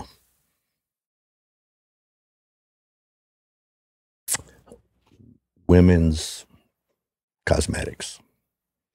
He's a jerk. He's a jerk. Wouldn't even take his aisle, his feet out of the aisle so the flight attendant could walk by, and uh, knowing she was trying to get by. And, you know, you just see, you see, you really get a chance to flying politicians, flying the rich and famous. You you really get a chance to to see people behind the scenes and how they are, and uh, you know, and how you could you picture what you see on television or what you read in a magazine, and you form this idea of how these people are. And then you meet them, and it just blows that idea all to hell. Yep. And it's like, maybe I'm a little shallow here. Maybe I should do a better job of evaluating people. Well, they always say careful of meeting your heroes, right? Yeah, you do. Yep.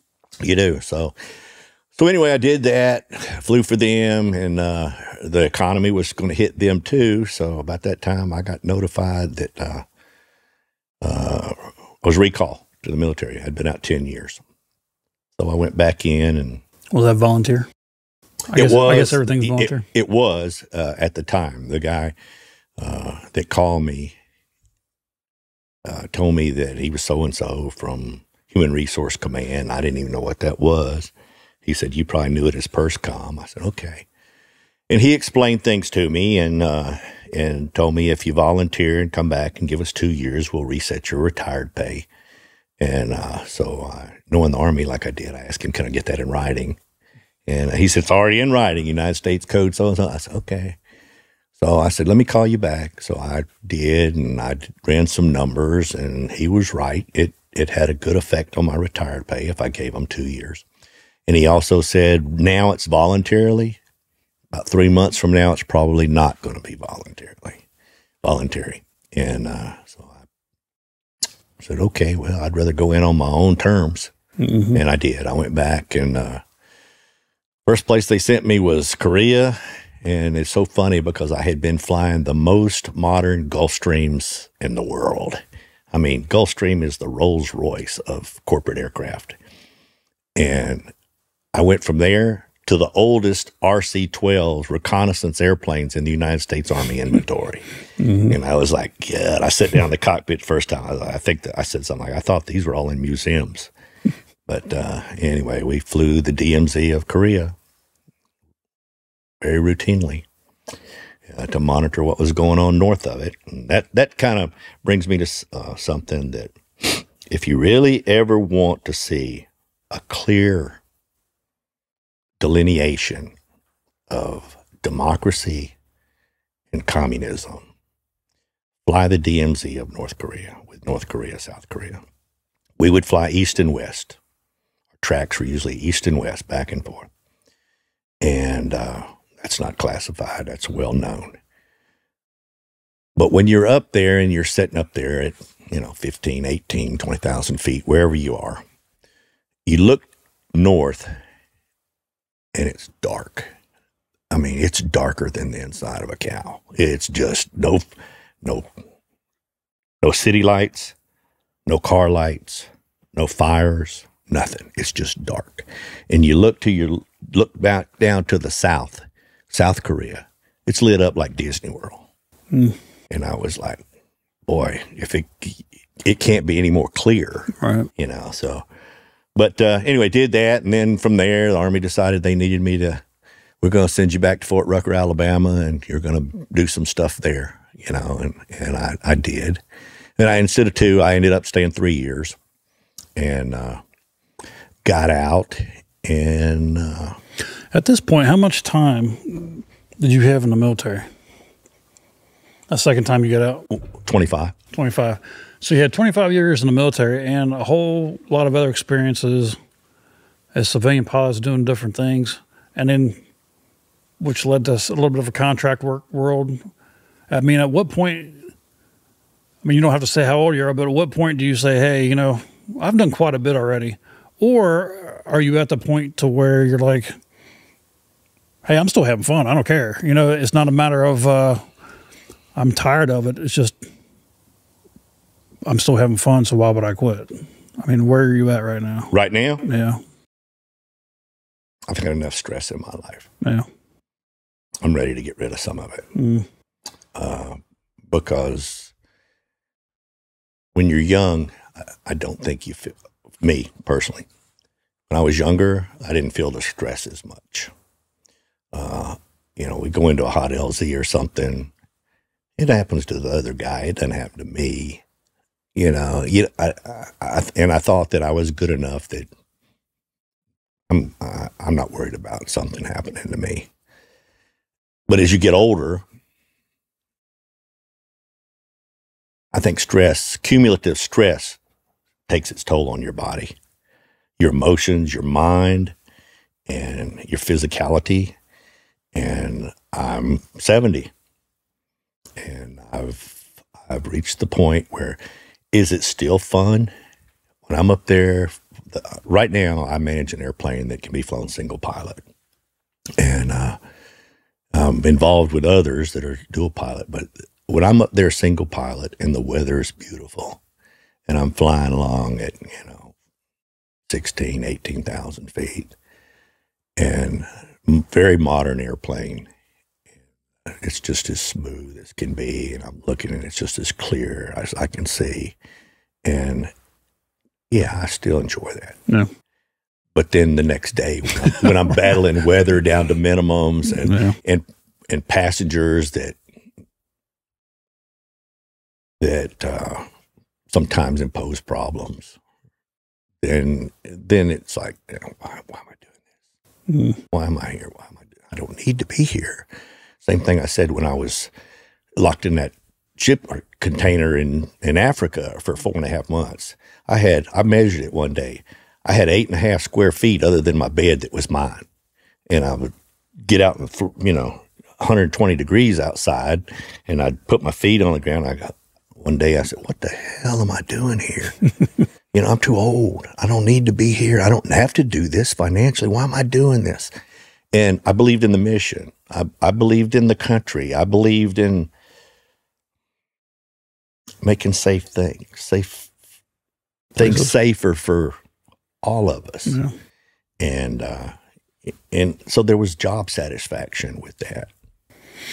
But Mhm. all the questioning that we talked about earlier, that's kind of changed. You know, I don't look at things quite the same. I don't, what I'm being told I'm doing, I'm not necessarily ready to take that to the bank sometimes. It's like, really? Well, then how come this happened? Oh, well, that, that's just, you know, you hear some excuse or they sugarcoat it. Mm. But, uh, I don't know. Uh, I've had enough. Uh, I just last week I was out doing some flying test pi- pilot flying for Lockheed, and I enjoyed it. I enjoyed doing that uh, because you know test flights they give you test flight cards, and you go out and you got you know maybe eight cars, and okay, climb to this altitude, establish this speed, do this, do this, do this, do this. Roger, black and white, easy. And uh, you don't go do those kind of flights at marginal weather, and most of them we do them out in the Southwest, so the weather's good, and uh, it, it's it's a it's enjoyable. I still enjoy doing that. But taking an airplane, flying it single pilot up into congested ATC congested areas, and the weather's marginal, and I've got passengers in the back concerned about the weather, and I, mm-mm, mm-mm. I'm uh-uh. it, it's enough, and I don't want to. Uh, it, it's time to turn it over. Probably had some pretty scary times up there too. I imagine. Yeah, I know one of the stories you told me I've about been- the turbulence. Uh, Uh, yeah, I've been very, very blessed. You know, I've had a lot of emergencies. I've had engine failures. I've had hydraulic lockups. Had a Chinook uh, that I think that's probably I feel like the closest to ever being killed in an aircraft. I had a Chinook that had a full hydraulic lockup, and uh, which people will tell you that's you're done. Mm. You can't move the controls when you have a full hydraulic lockup. It's not uh, a Chinook. The blades weigh th- over 300 pounds a piece. You're not moving all that stuff by hand. It's all hydraulically assisted. And uh, the design of the aircraft at the time, and I, I hope they've changed this. You had two hydraulic systems, and uh, supposed to have built redundancy. Well, lo and behold, there was no relief valves in the system. So if you got something that blocked one of the systems, it became a rigid link, and that other system could not overcome that rigid link. And I was under night vision. I was at uh, instructor pilot. I was being evaluated for my annual ride by our standardization instructor pilot, senior instructor pilot. And uh, we had, uh, let's see, we had six people on the aircraft. And this was at Fort Campbell, Kentucky. 101st Airborne again, and uh, I was if I if I go to war again, that's who I want to go with because we trained well, mm. and uh, it was always the motto: "Train like you fight," and we did. But we were out there and we were going. He was evaluating me, and I was out to pick up a an external load. Uh, we were going to pick up. We were on the way to pick up a twelve thousand pound concrete block, and uh, we're about halfway there. And Will says, and Will was a Vietnam guy. He had had two or three shot out from under him in Vietnam. Uh, Chinooks. And those people that I spoke about highly that helped train me my first assignment, he was one of them. Mm. And uh, so we're flying along. He's in the right seat. I'm in the left seat. We're flying along. And he goes, Oh, we're going, where are you going? I said, I'm going to pick the 12,000 pound block. Oh, hell no. You going, you, you going to pick the 18,000 pound block up. Like, oh, shit. So he said, turn left, let's go to training area eight or whatever it was. I said, so I started, I rolled into the turn. And when I rolled out, it, the controls felt very odd. It felt like they started to bind up. And, uh, and I noticed that the, when I would move the controls, the, the area of authority that I had seemed to keep shrinking. I couldn't move the controls quite as far. And I asked him, I said, Will, are you fucking with the controls? And uh, and he said, "No, why?" Well, I looked out from under my goggles. You know, we had the, uh, I believe I, we were using sixes that night. I looked out from under my goggles over there, and he had his hands on his lap, and I knew him well enough to know, and the way he answered, he's telling the truth. And I said, because the controls are feeling very, very weird. Something's not right here. And uh, and so I pull back the cyclic and I decrease power and I started transitioning to a landing attitude.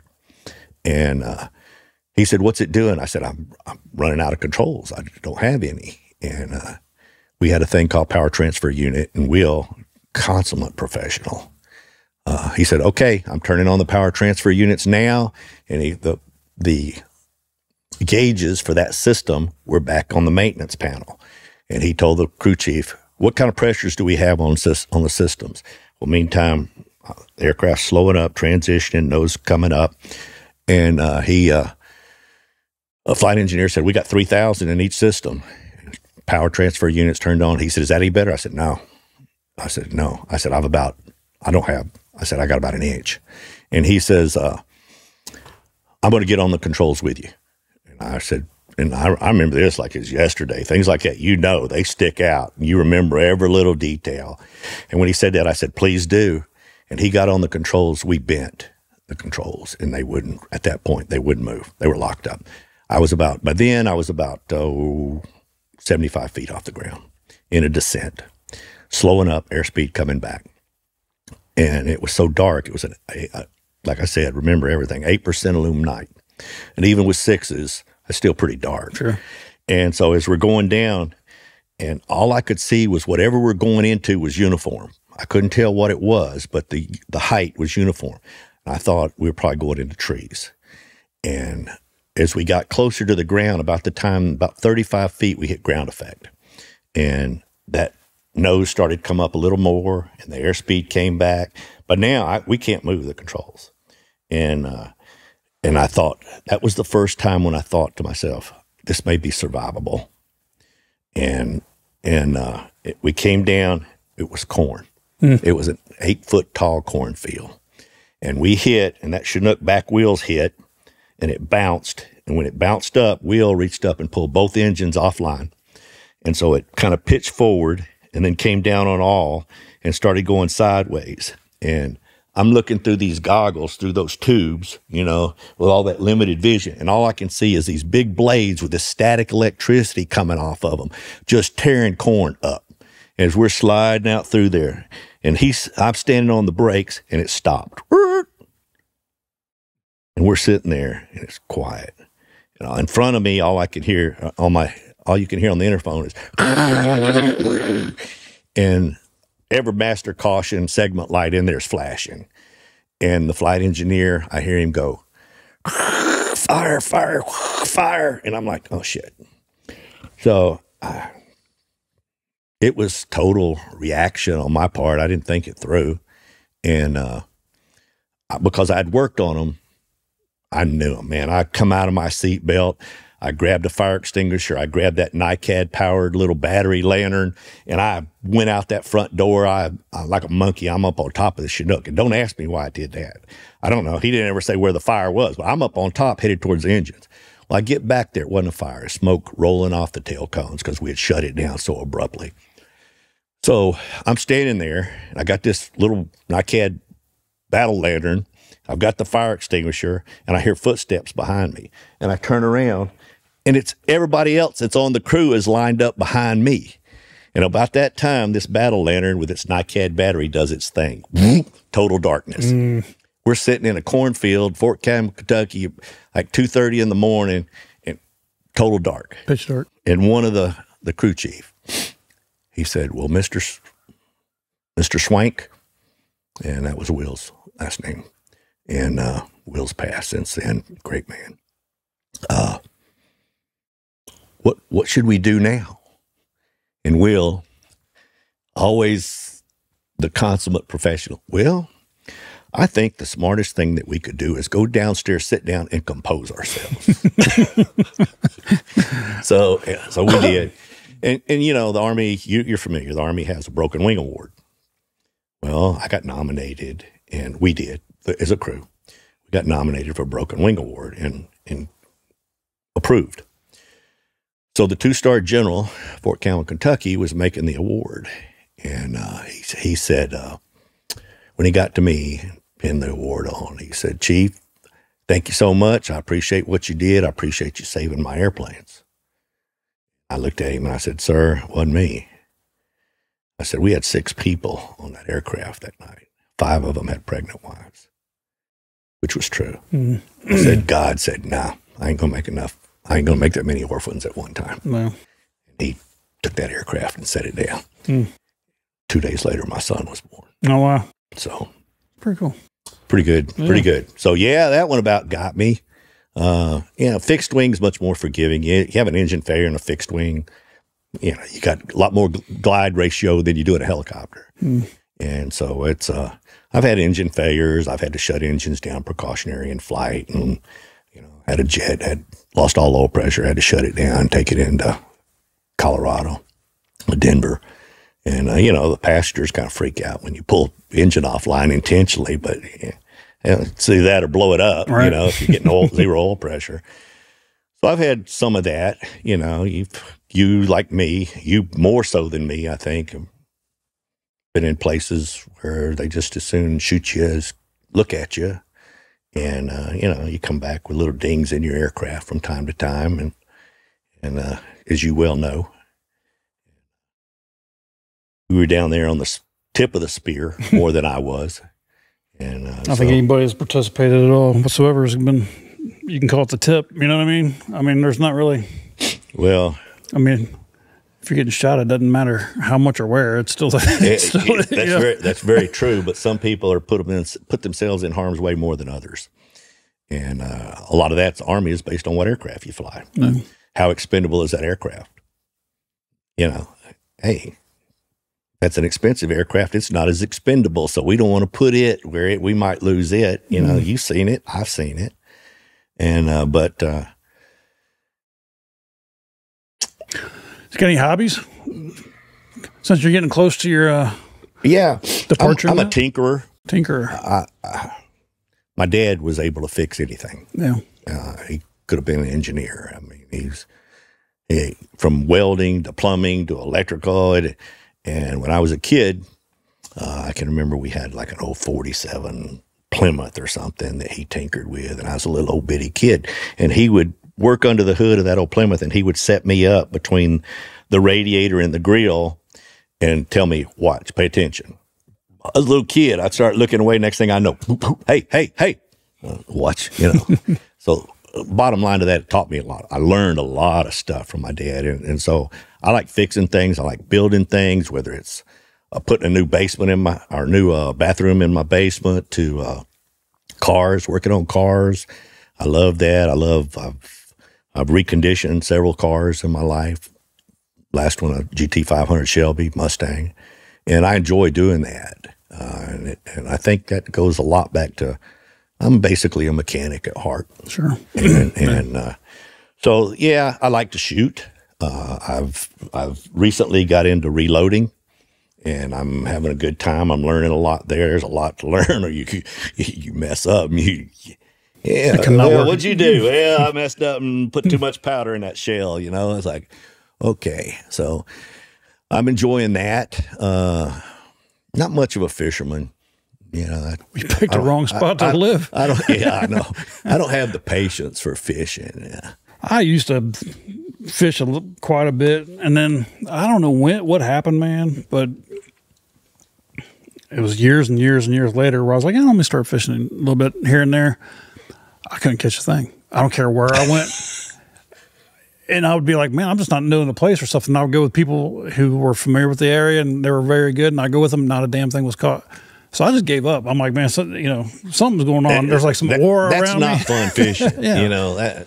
Well, I don't mind, you know, kind of like chilling out. Who cares if you really catch anything? But at some point, I want to catch something. you know? Yeah. And then, uh, and probably the past four or five times I've been out, it's just been, you know, That's not fun fishing.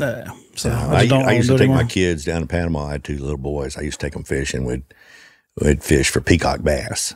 I mean, it wasn't unusual to go catch 40, 50 of them. And, and so then it's it's fun.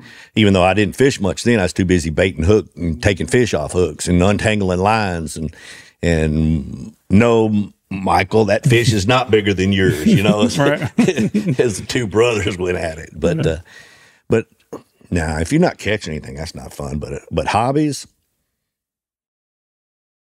that's that's pretty much it. I'll, I'll take something that that needs fixed. Like I had a pontoon boat. I took it all down to the frame and rebuilt it back up. It's because it's like I enjoy doing that kind of stuff. Mm-hmm. Julie says I like taking broken things and fixing them, mm. and she's she's applied that to people too. Which if if Everybody that's the brings their case, broken stuff over to you. so be it. Yeah. You know, so be it. If you can help somebody get back on their feet and and uh, that's Yeah, what we sure- should be doing. Yeah. It makes yourself feel a lot better. Yeah. It- You know, I battled depression quite a bit.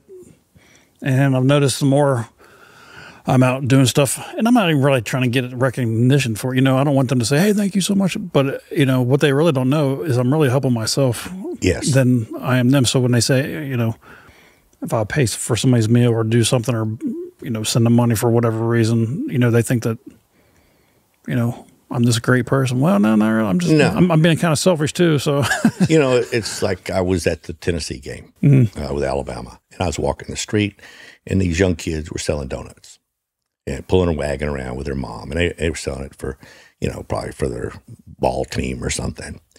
So I, I walked by them, and Mister, you want, want to buy some donuts? No, I don't want to buy any donuts. I don't want to walk around with a box of donuts on the way to the game Right. and stuff.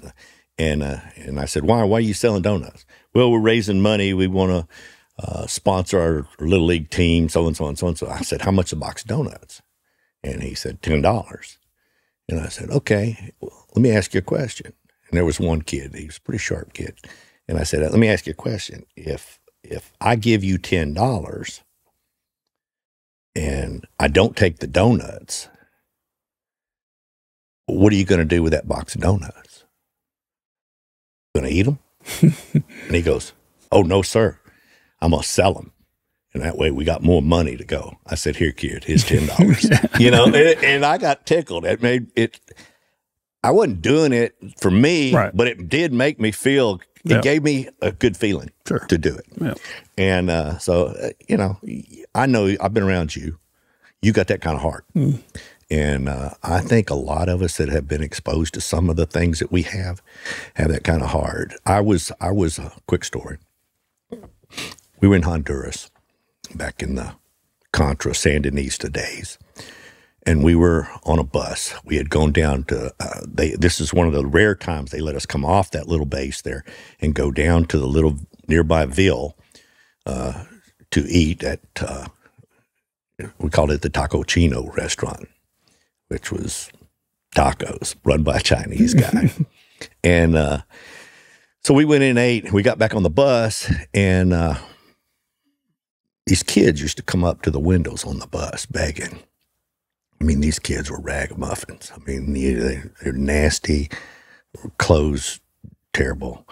Well, there was like six or seven little boys, and uh, you could tell a couple of them were bullies and kind of ran the, the crowd. And sitting, standing in the back was probably about a seven or eight year old little girl. And they wouldn't let her get anywhere near the windows. And a friend of mine, Paul, same guy that we put in for fixed wing together, we're down there and he's sitting in the seat in front of me on the bus. And uh, we're watching this out the window and we're talking about it. And I said, Yeah, that poor little girl doesn't stand a chance. And Paul said, that's bullshit. that was his favorite. So he opens his window and uh, he points at the girl and he motions for her to come up there. And so she walks through the crowd, and the boys, they, they, don't want to make this man mad. So they let her come through there. Paul takes off his watch and gives it to her. And he looks at the little boys and he said, he said, You, in Spanish, he was speaking English, but he made the point with his finger. He said, You and you, and pointed at the bullies. He said, You take that watch from her. and, uh, and so the little girl took the watch and took off. And I mean, here we are doing stuff that you may get killed the next day, but you got that heart. You got that tender heart. And I guarantee you, saw that in the military. Oh, And- yeah, and, uh, absolutely. guys that can be the hardest warriors you'd ever come across and aren't never show fear can be some of the softest people inside you'd ever meet. Sure. So Yep. Goes back to judging the book. Absolutely. Judging the book. I'm going to take a break real quick, man. Or unless you want to end it, uh, you got anyth- I'll tell you what. Let's just take a real quick break, and then uh, we'll come back. Okay. Mike, we're back from our little break. Um, had a lot of discussions. We were probably took more of a break than we should have. I should have got some of that stuff on video, but hey, there's always another time, right? I hope so. I hope you do come back too, because you know this ain't gonna be the first time we do this. Um, but one last question I wanted to ask you before we get out of here is, you know, you, you know, you gave up the information yourself. I didn't ask you. You said you're 70, which I think you look absolutely fabulous at 70. Well, thank you. I mean, way better than I'm ever going to look if I ever do make it to that to that age. Uh, you'd be surprised. you'd be surprised. But I was wondering, you know, being at that age and all the stuff that you've seen and done, I mean, is there anything that you could go back and change or anything you, you regret that you've done or you just happy with? Re- regrets. I think we all have regrets. It's just how much do you affect, let those regrets affect you as you move forward in your life. I don't. Uh, you know, some people, well, your first marriage, did you regret it? No, I don't. I learned a lot and I got two fantastic kids. Uh, so no, no regrets there. Uh, looking back, are there some things that I would have done differently with the knowledge that I have now? Yeah, absolutely. Um, one thing that I learned, and I learned this late in life, that if you don't like the way something works, your best opportunities to change it are from the inside, not from the outside. And like right now, I'm not happy with the direction of our government. And I'm not just talking about national level, I'm local, state. You know, I, I look at politicians and they all seem to be cut from the same cloth. and I don't necessarily think that that was a for most of them that's a good bolt of cloth. There are some, there are some good, but so I look back and I've wondered if I could have tailored my life in a way that I could have gotten into politics and been effective at it, and uh, and maybe at least slowed things down going in the wrong direction, mm. and maybe had an effect on steering them in the right direction on occasion. That's that's something that I, I think about, and I when my dad asked me, and he said, I'd recommend you go to the military academy. And I said, I don't want to ever have anything to do with military the rest of my life. Ate those words later. But uh, I look at if I had gone to that military academy, it, my career track that I ended up on would have accelerated. It would have been faster.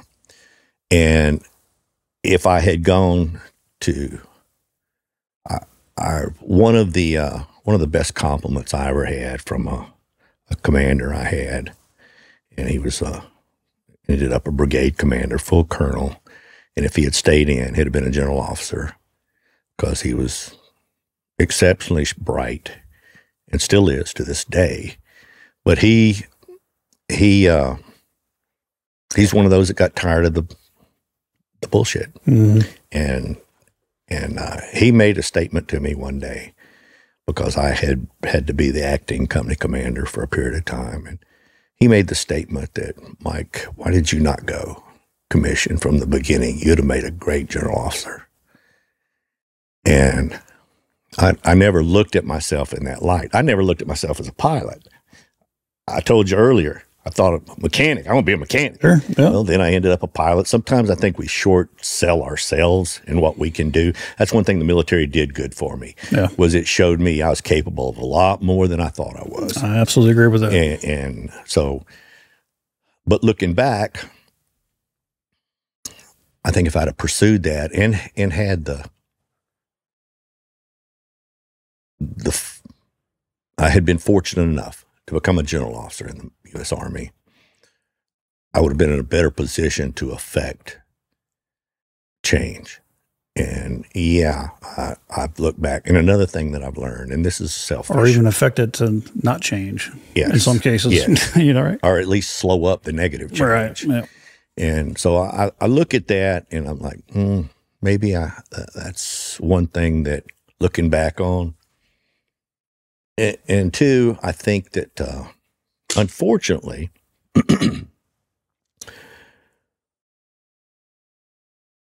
civilian companies seem to they seem to equate your military rank with where they should position you in their civilian structure. That is true. And uh, I I think they're missing the boat because there's a lot of people qualified much more so than some of the people that they put in those higher level positions that are there simply because they happen to be a two star general in the Marine Corps or a three star general in the Air Force. It doesn't necessarily make them that good. And uh, so, but there is that tendency, and you and that's one of those you and I won't change. It's going to be like that. And so, to get into that system, you got to play that game.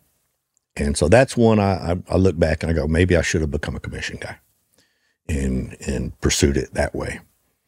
Uh, I think you would have been pretty good because uh, some of the ones that I've had, I mean, that's what, you know, I don't, I don't want to be bashing the army, but I was ready to get out when it was time to get out. Me too. Probably about two or three years before I even got out, just to see the changes that I was seeing. Wait, even before then, you know, there were some things that happened. I'll probably talk about at some other point, but um, really changed my uh, outlook on what I was going to do for the rest of my life. You know, sure. Um, I don't mind people having the choice of what I'm doing with my life. What I mean by that is having, you know, competent officers choosing what I'm going to be doing, where I'm going. Keyword, keyword, competent. Right. And, uh, hey, and if stuff goes bad, you know, I'll, I'll deal with the consequences of it, whether it's Sure. whatever it is. But when you have known people, not just by me, but even higher ranked than they are, knows what kind of people they are, what kind of leaders they are, and still allows them to do that job Yeah. and just like turn a blind eye and still let it happen. Um, that's when I realized that I don't understand what's going on, but I'm not going to let you guys Yeah. affect my life anymore. So that's that was one of my main reasons of getting out. Yep, I've, I've been there. And competent leadership is the key. Yep. And a, a phrase that I I developed through my years in the army, and it's applicable to the civilian world as well, is in the army you can have leaders, and commanders. They're not necessarily always the one and the same Right. the army through virtue of assignment and rank can make you a commander and they have a lot of leadership schools that they can send you to i think the best leaders that i ever come have come across they were born with a basic leadership trait Sure. that they developed and if a person doesn't have that basic leadership trait you're not going to develop it hmm and you may make it better, but you're not going to make him a dynamic leader. And uh, you know from being in the military what kind of person you were willing to follow into battle. And it's a leader. hmm It's not necessarily a commander, it's a leader. And that, uh,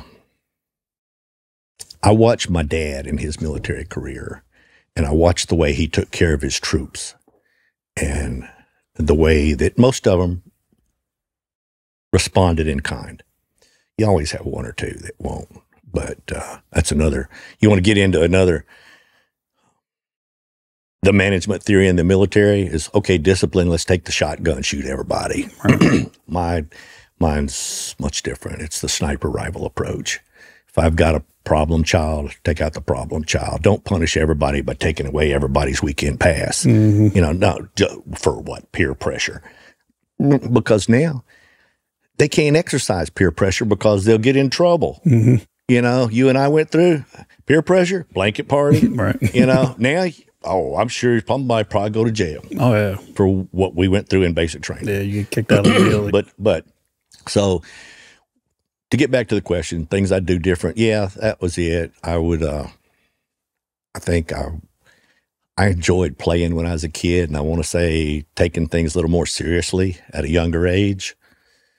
It would have probably been productive for me to have done that. yeah, but was that really going to happen when but you're that's that not young? me. Well, not And- only that, you know what what built you to who you are today. It was from having those times. a lot of it. You know what I mean? Yeah, a lot of it. An example, you know, going through the military, I didn't, you know, me and my wife didn't drink that much. We didn't go out and party. We had a young kid the whole time. And I'm not saying we didn't ever. There were some times, yes, I did, but for the most part, we we didn't really uh, go out and do much, you know, because we just felt a responsibility to be at the house, and you know, if I was gone, which most of the time I was, you know, she was there to make sure that he had what he needed to do and whatever.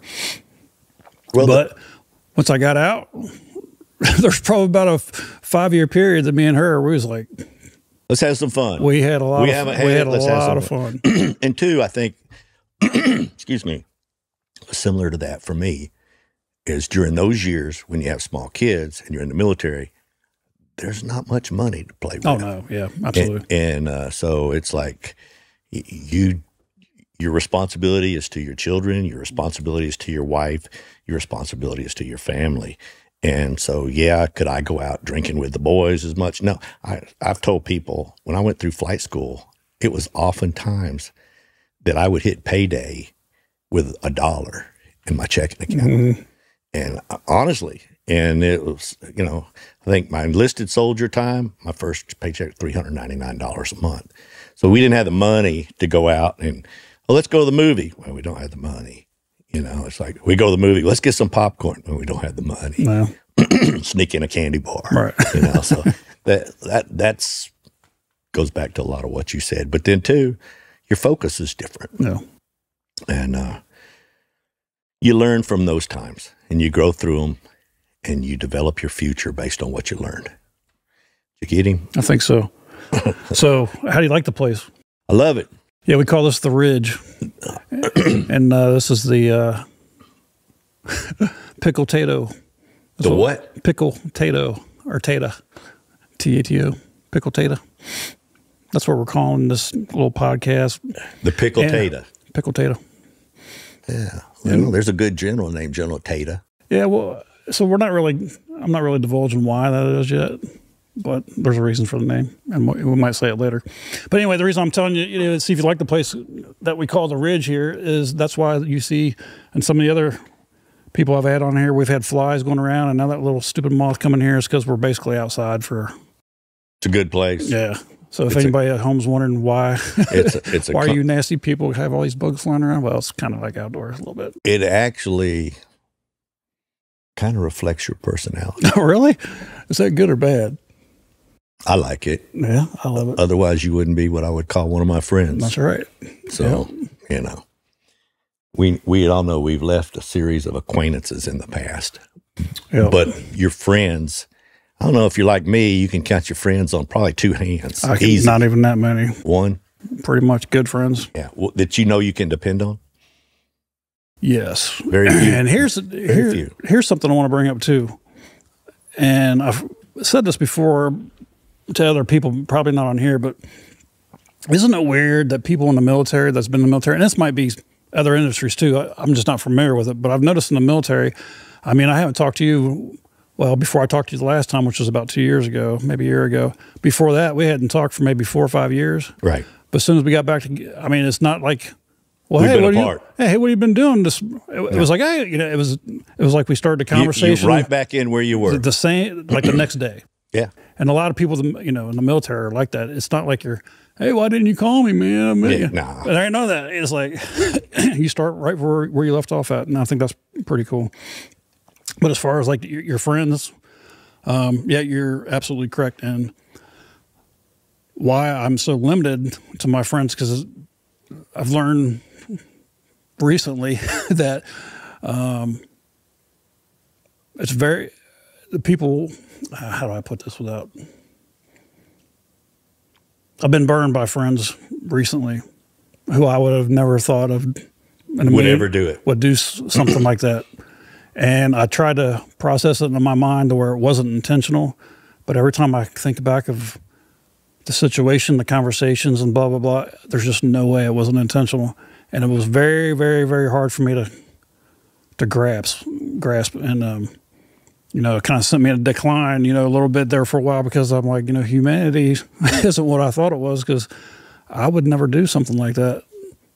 And um, I'm sorry, Bill, but to me, that's a character flaw in somebody. It is, And- but I, And we've been pretty good. We're pretty good at judging characters. I thought I was. And, That- and but every now and then we make a mistake. yeah, And not many, because when you get down to that many people, you know, you, you've evaluated them pretty well. yeah, And when you find one of those screws you over or does something totally unexpected that's to your detriment,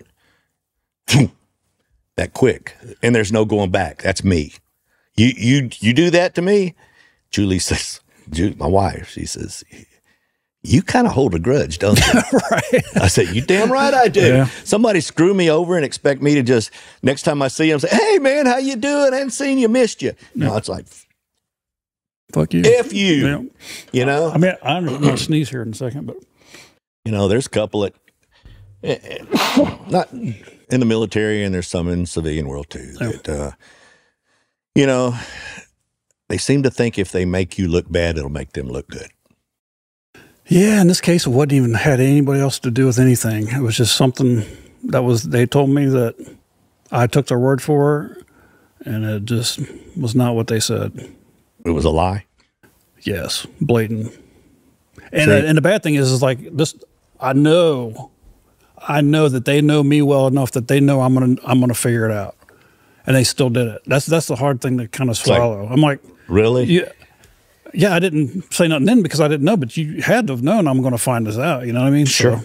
So, yeah. But they did it anyway. yeah. And so that's one you go, God, I had him so wrong.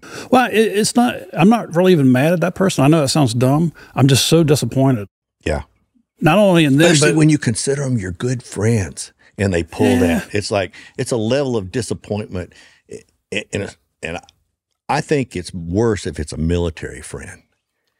And it's like, I would have never done that to you. Mm-hmm. And, and you, I trusted you. I really trusted you.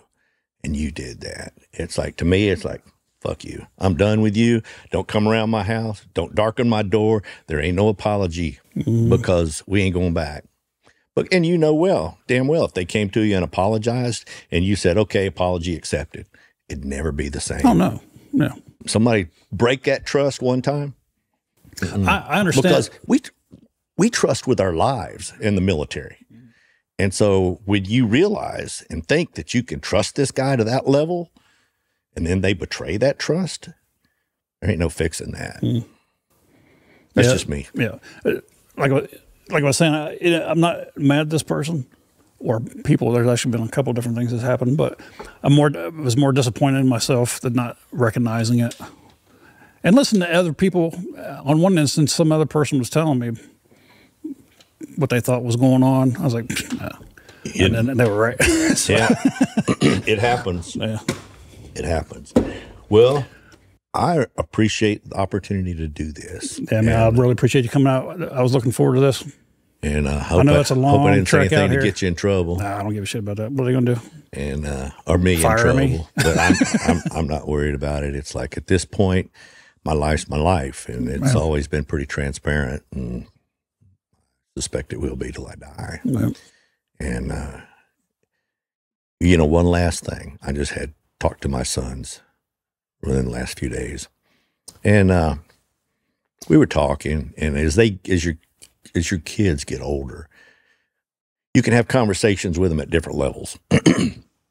and uh, I expressed to mine both that uh, one of these days, when I take my last and draw my last breath, I would like to go wherever I'm going to go from there, knowing that both of my sons have long have found long term happiness, and uh, that to me is probably at this stage in my life about the most important thing to me uh, going into the future. And uh, but you know as well as I do too, you can't force that. All you can do is advise, and we do as parents. We advise, and uh, but regrets, no, really regrets. Things I've done differently on hindsight, Right. a few, Yep.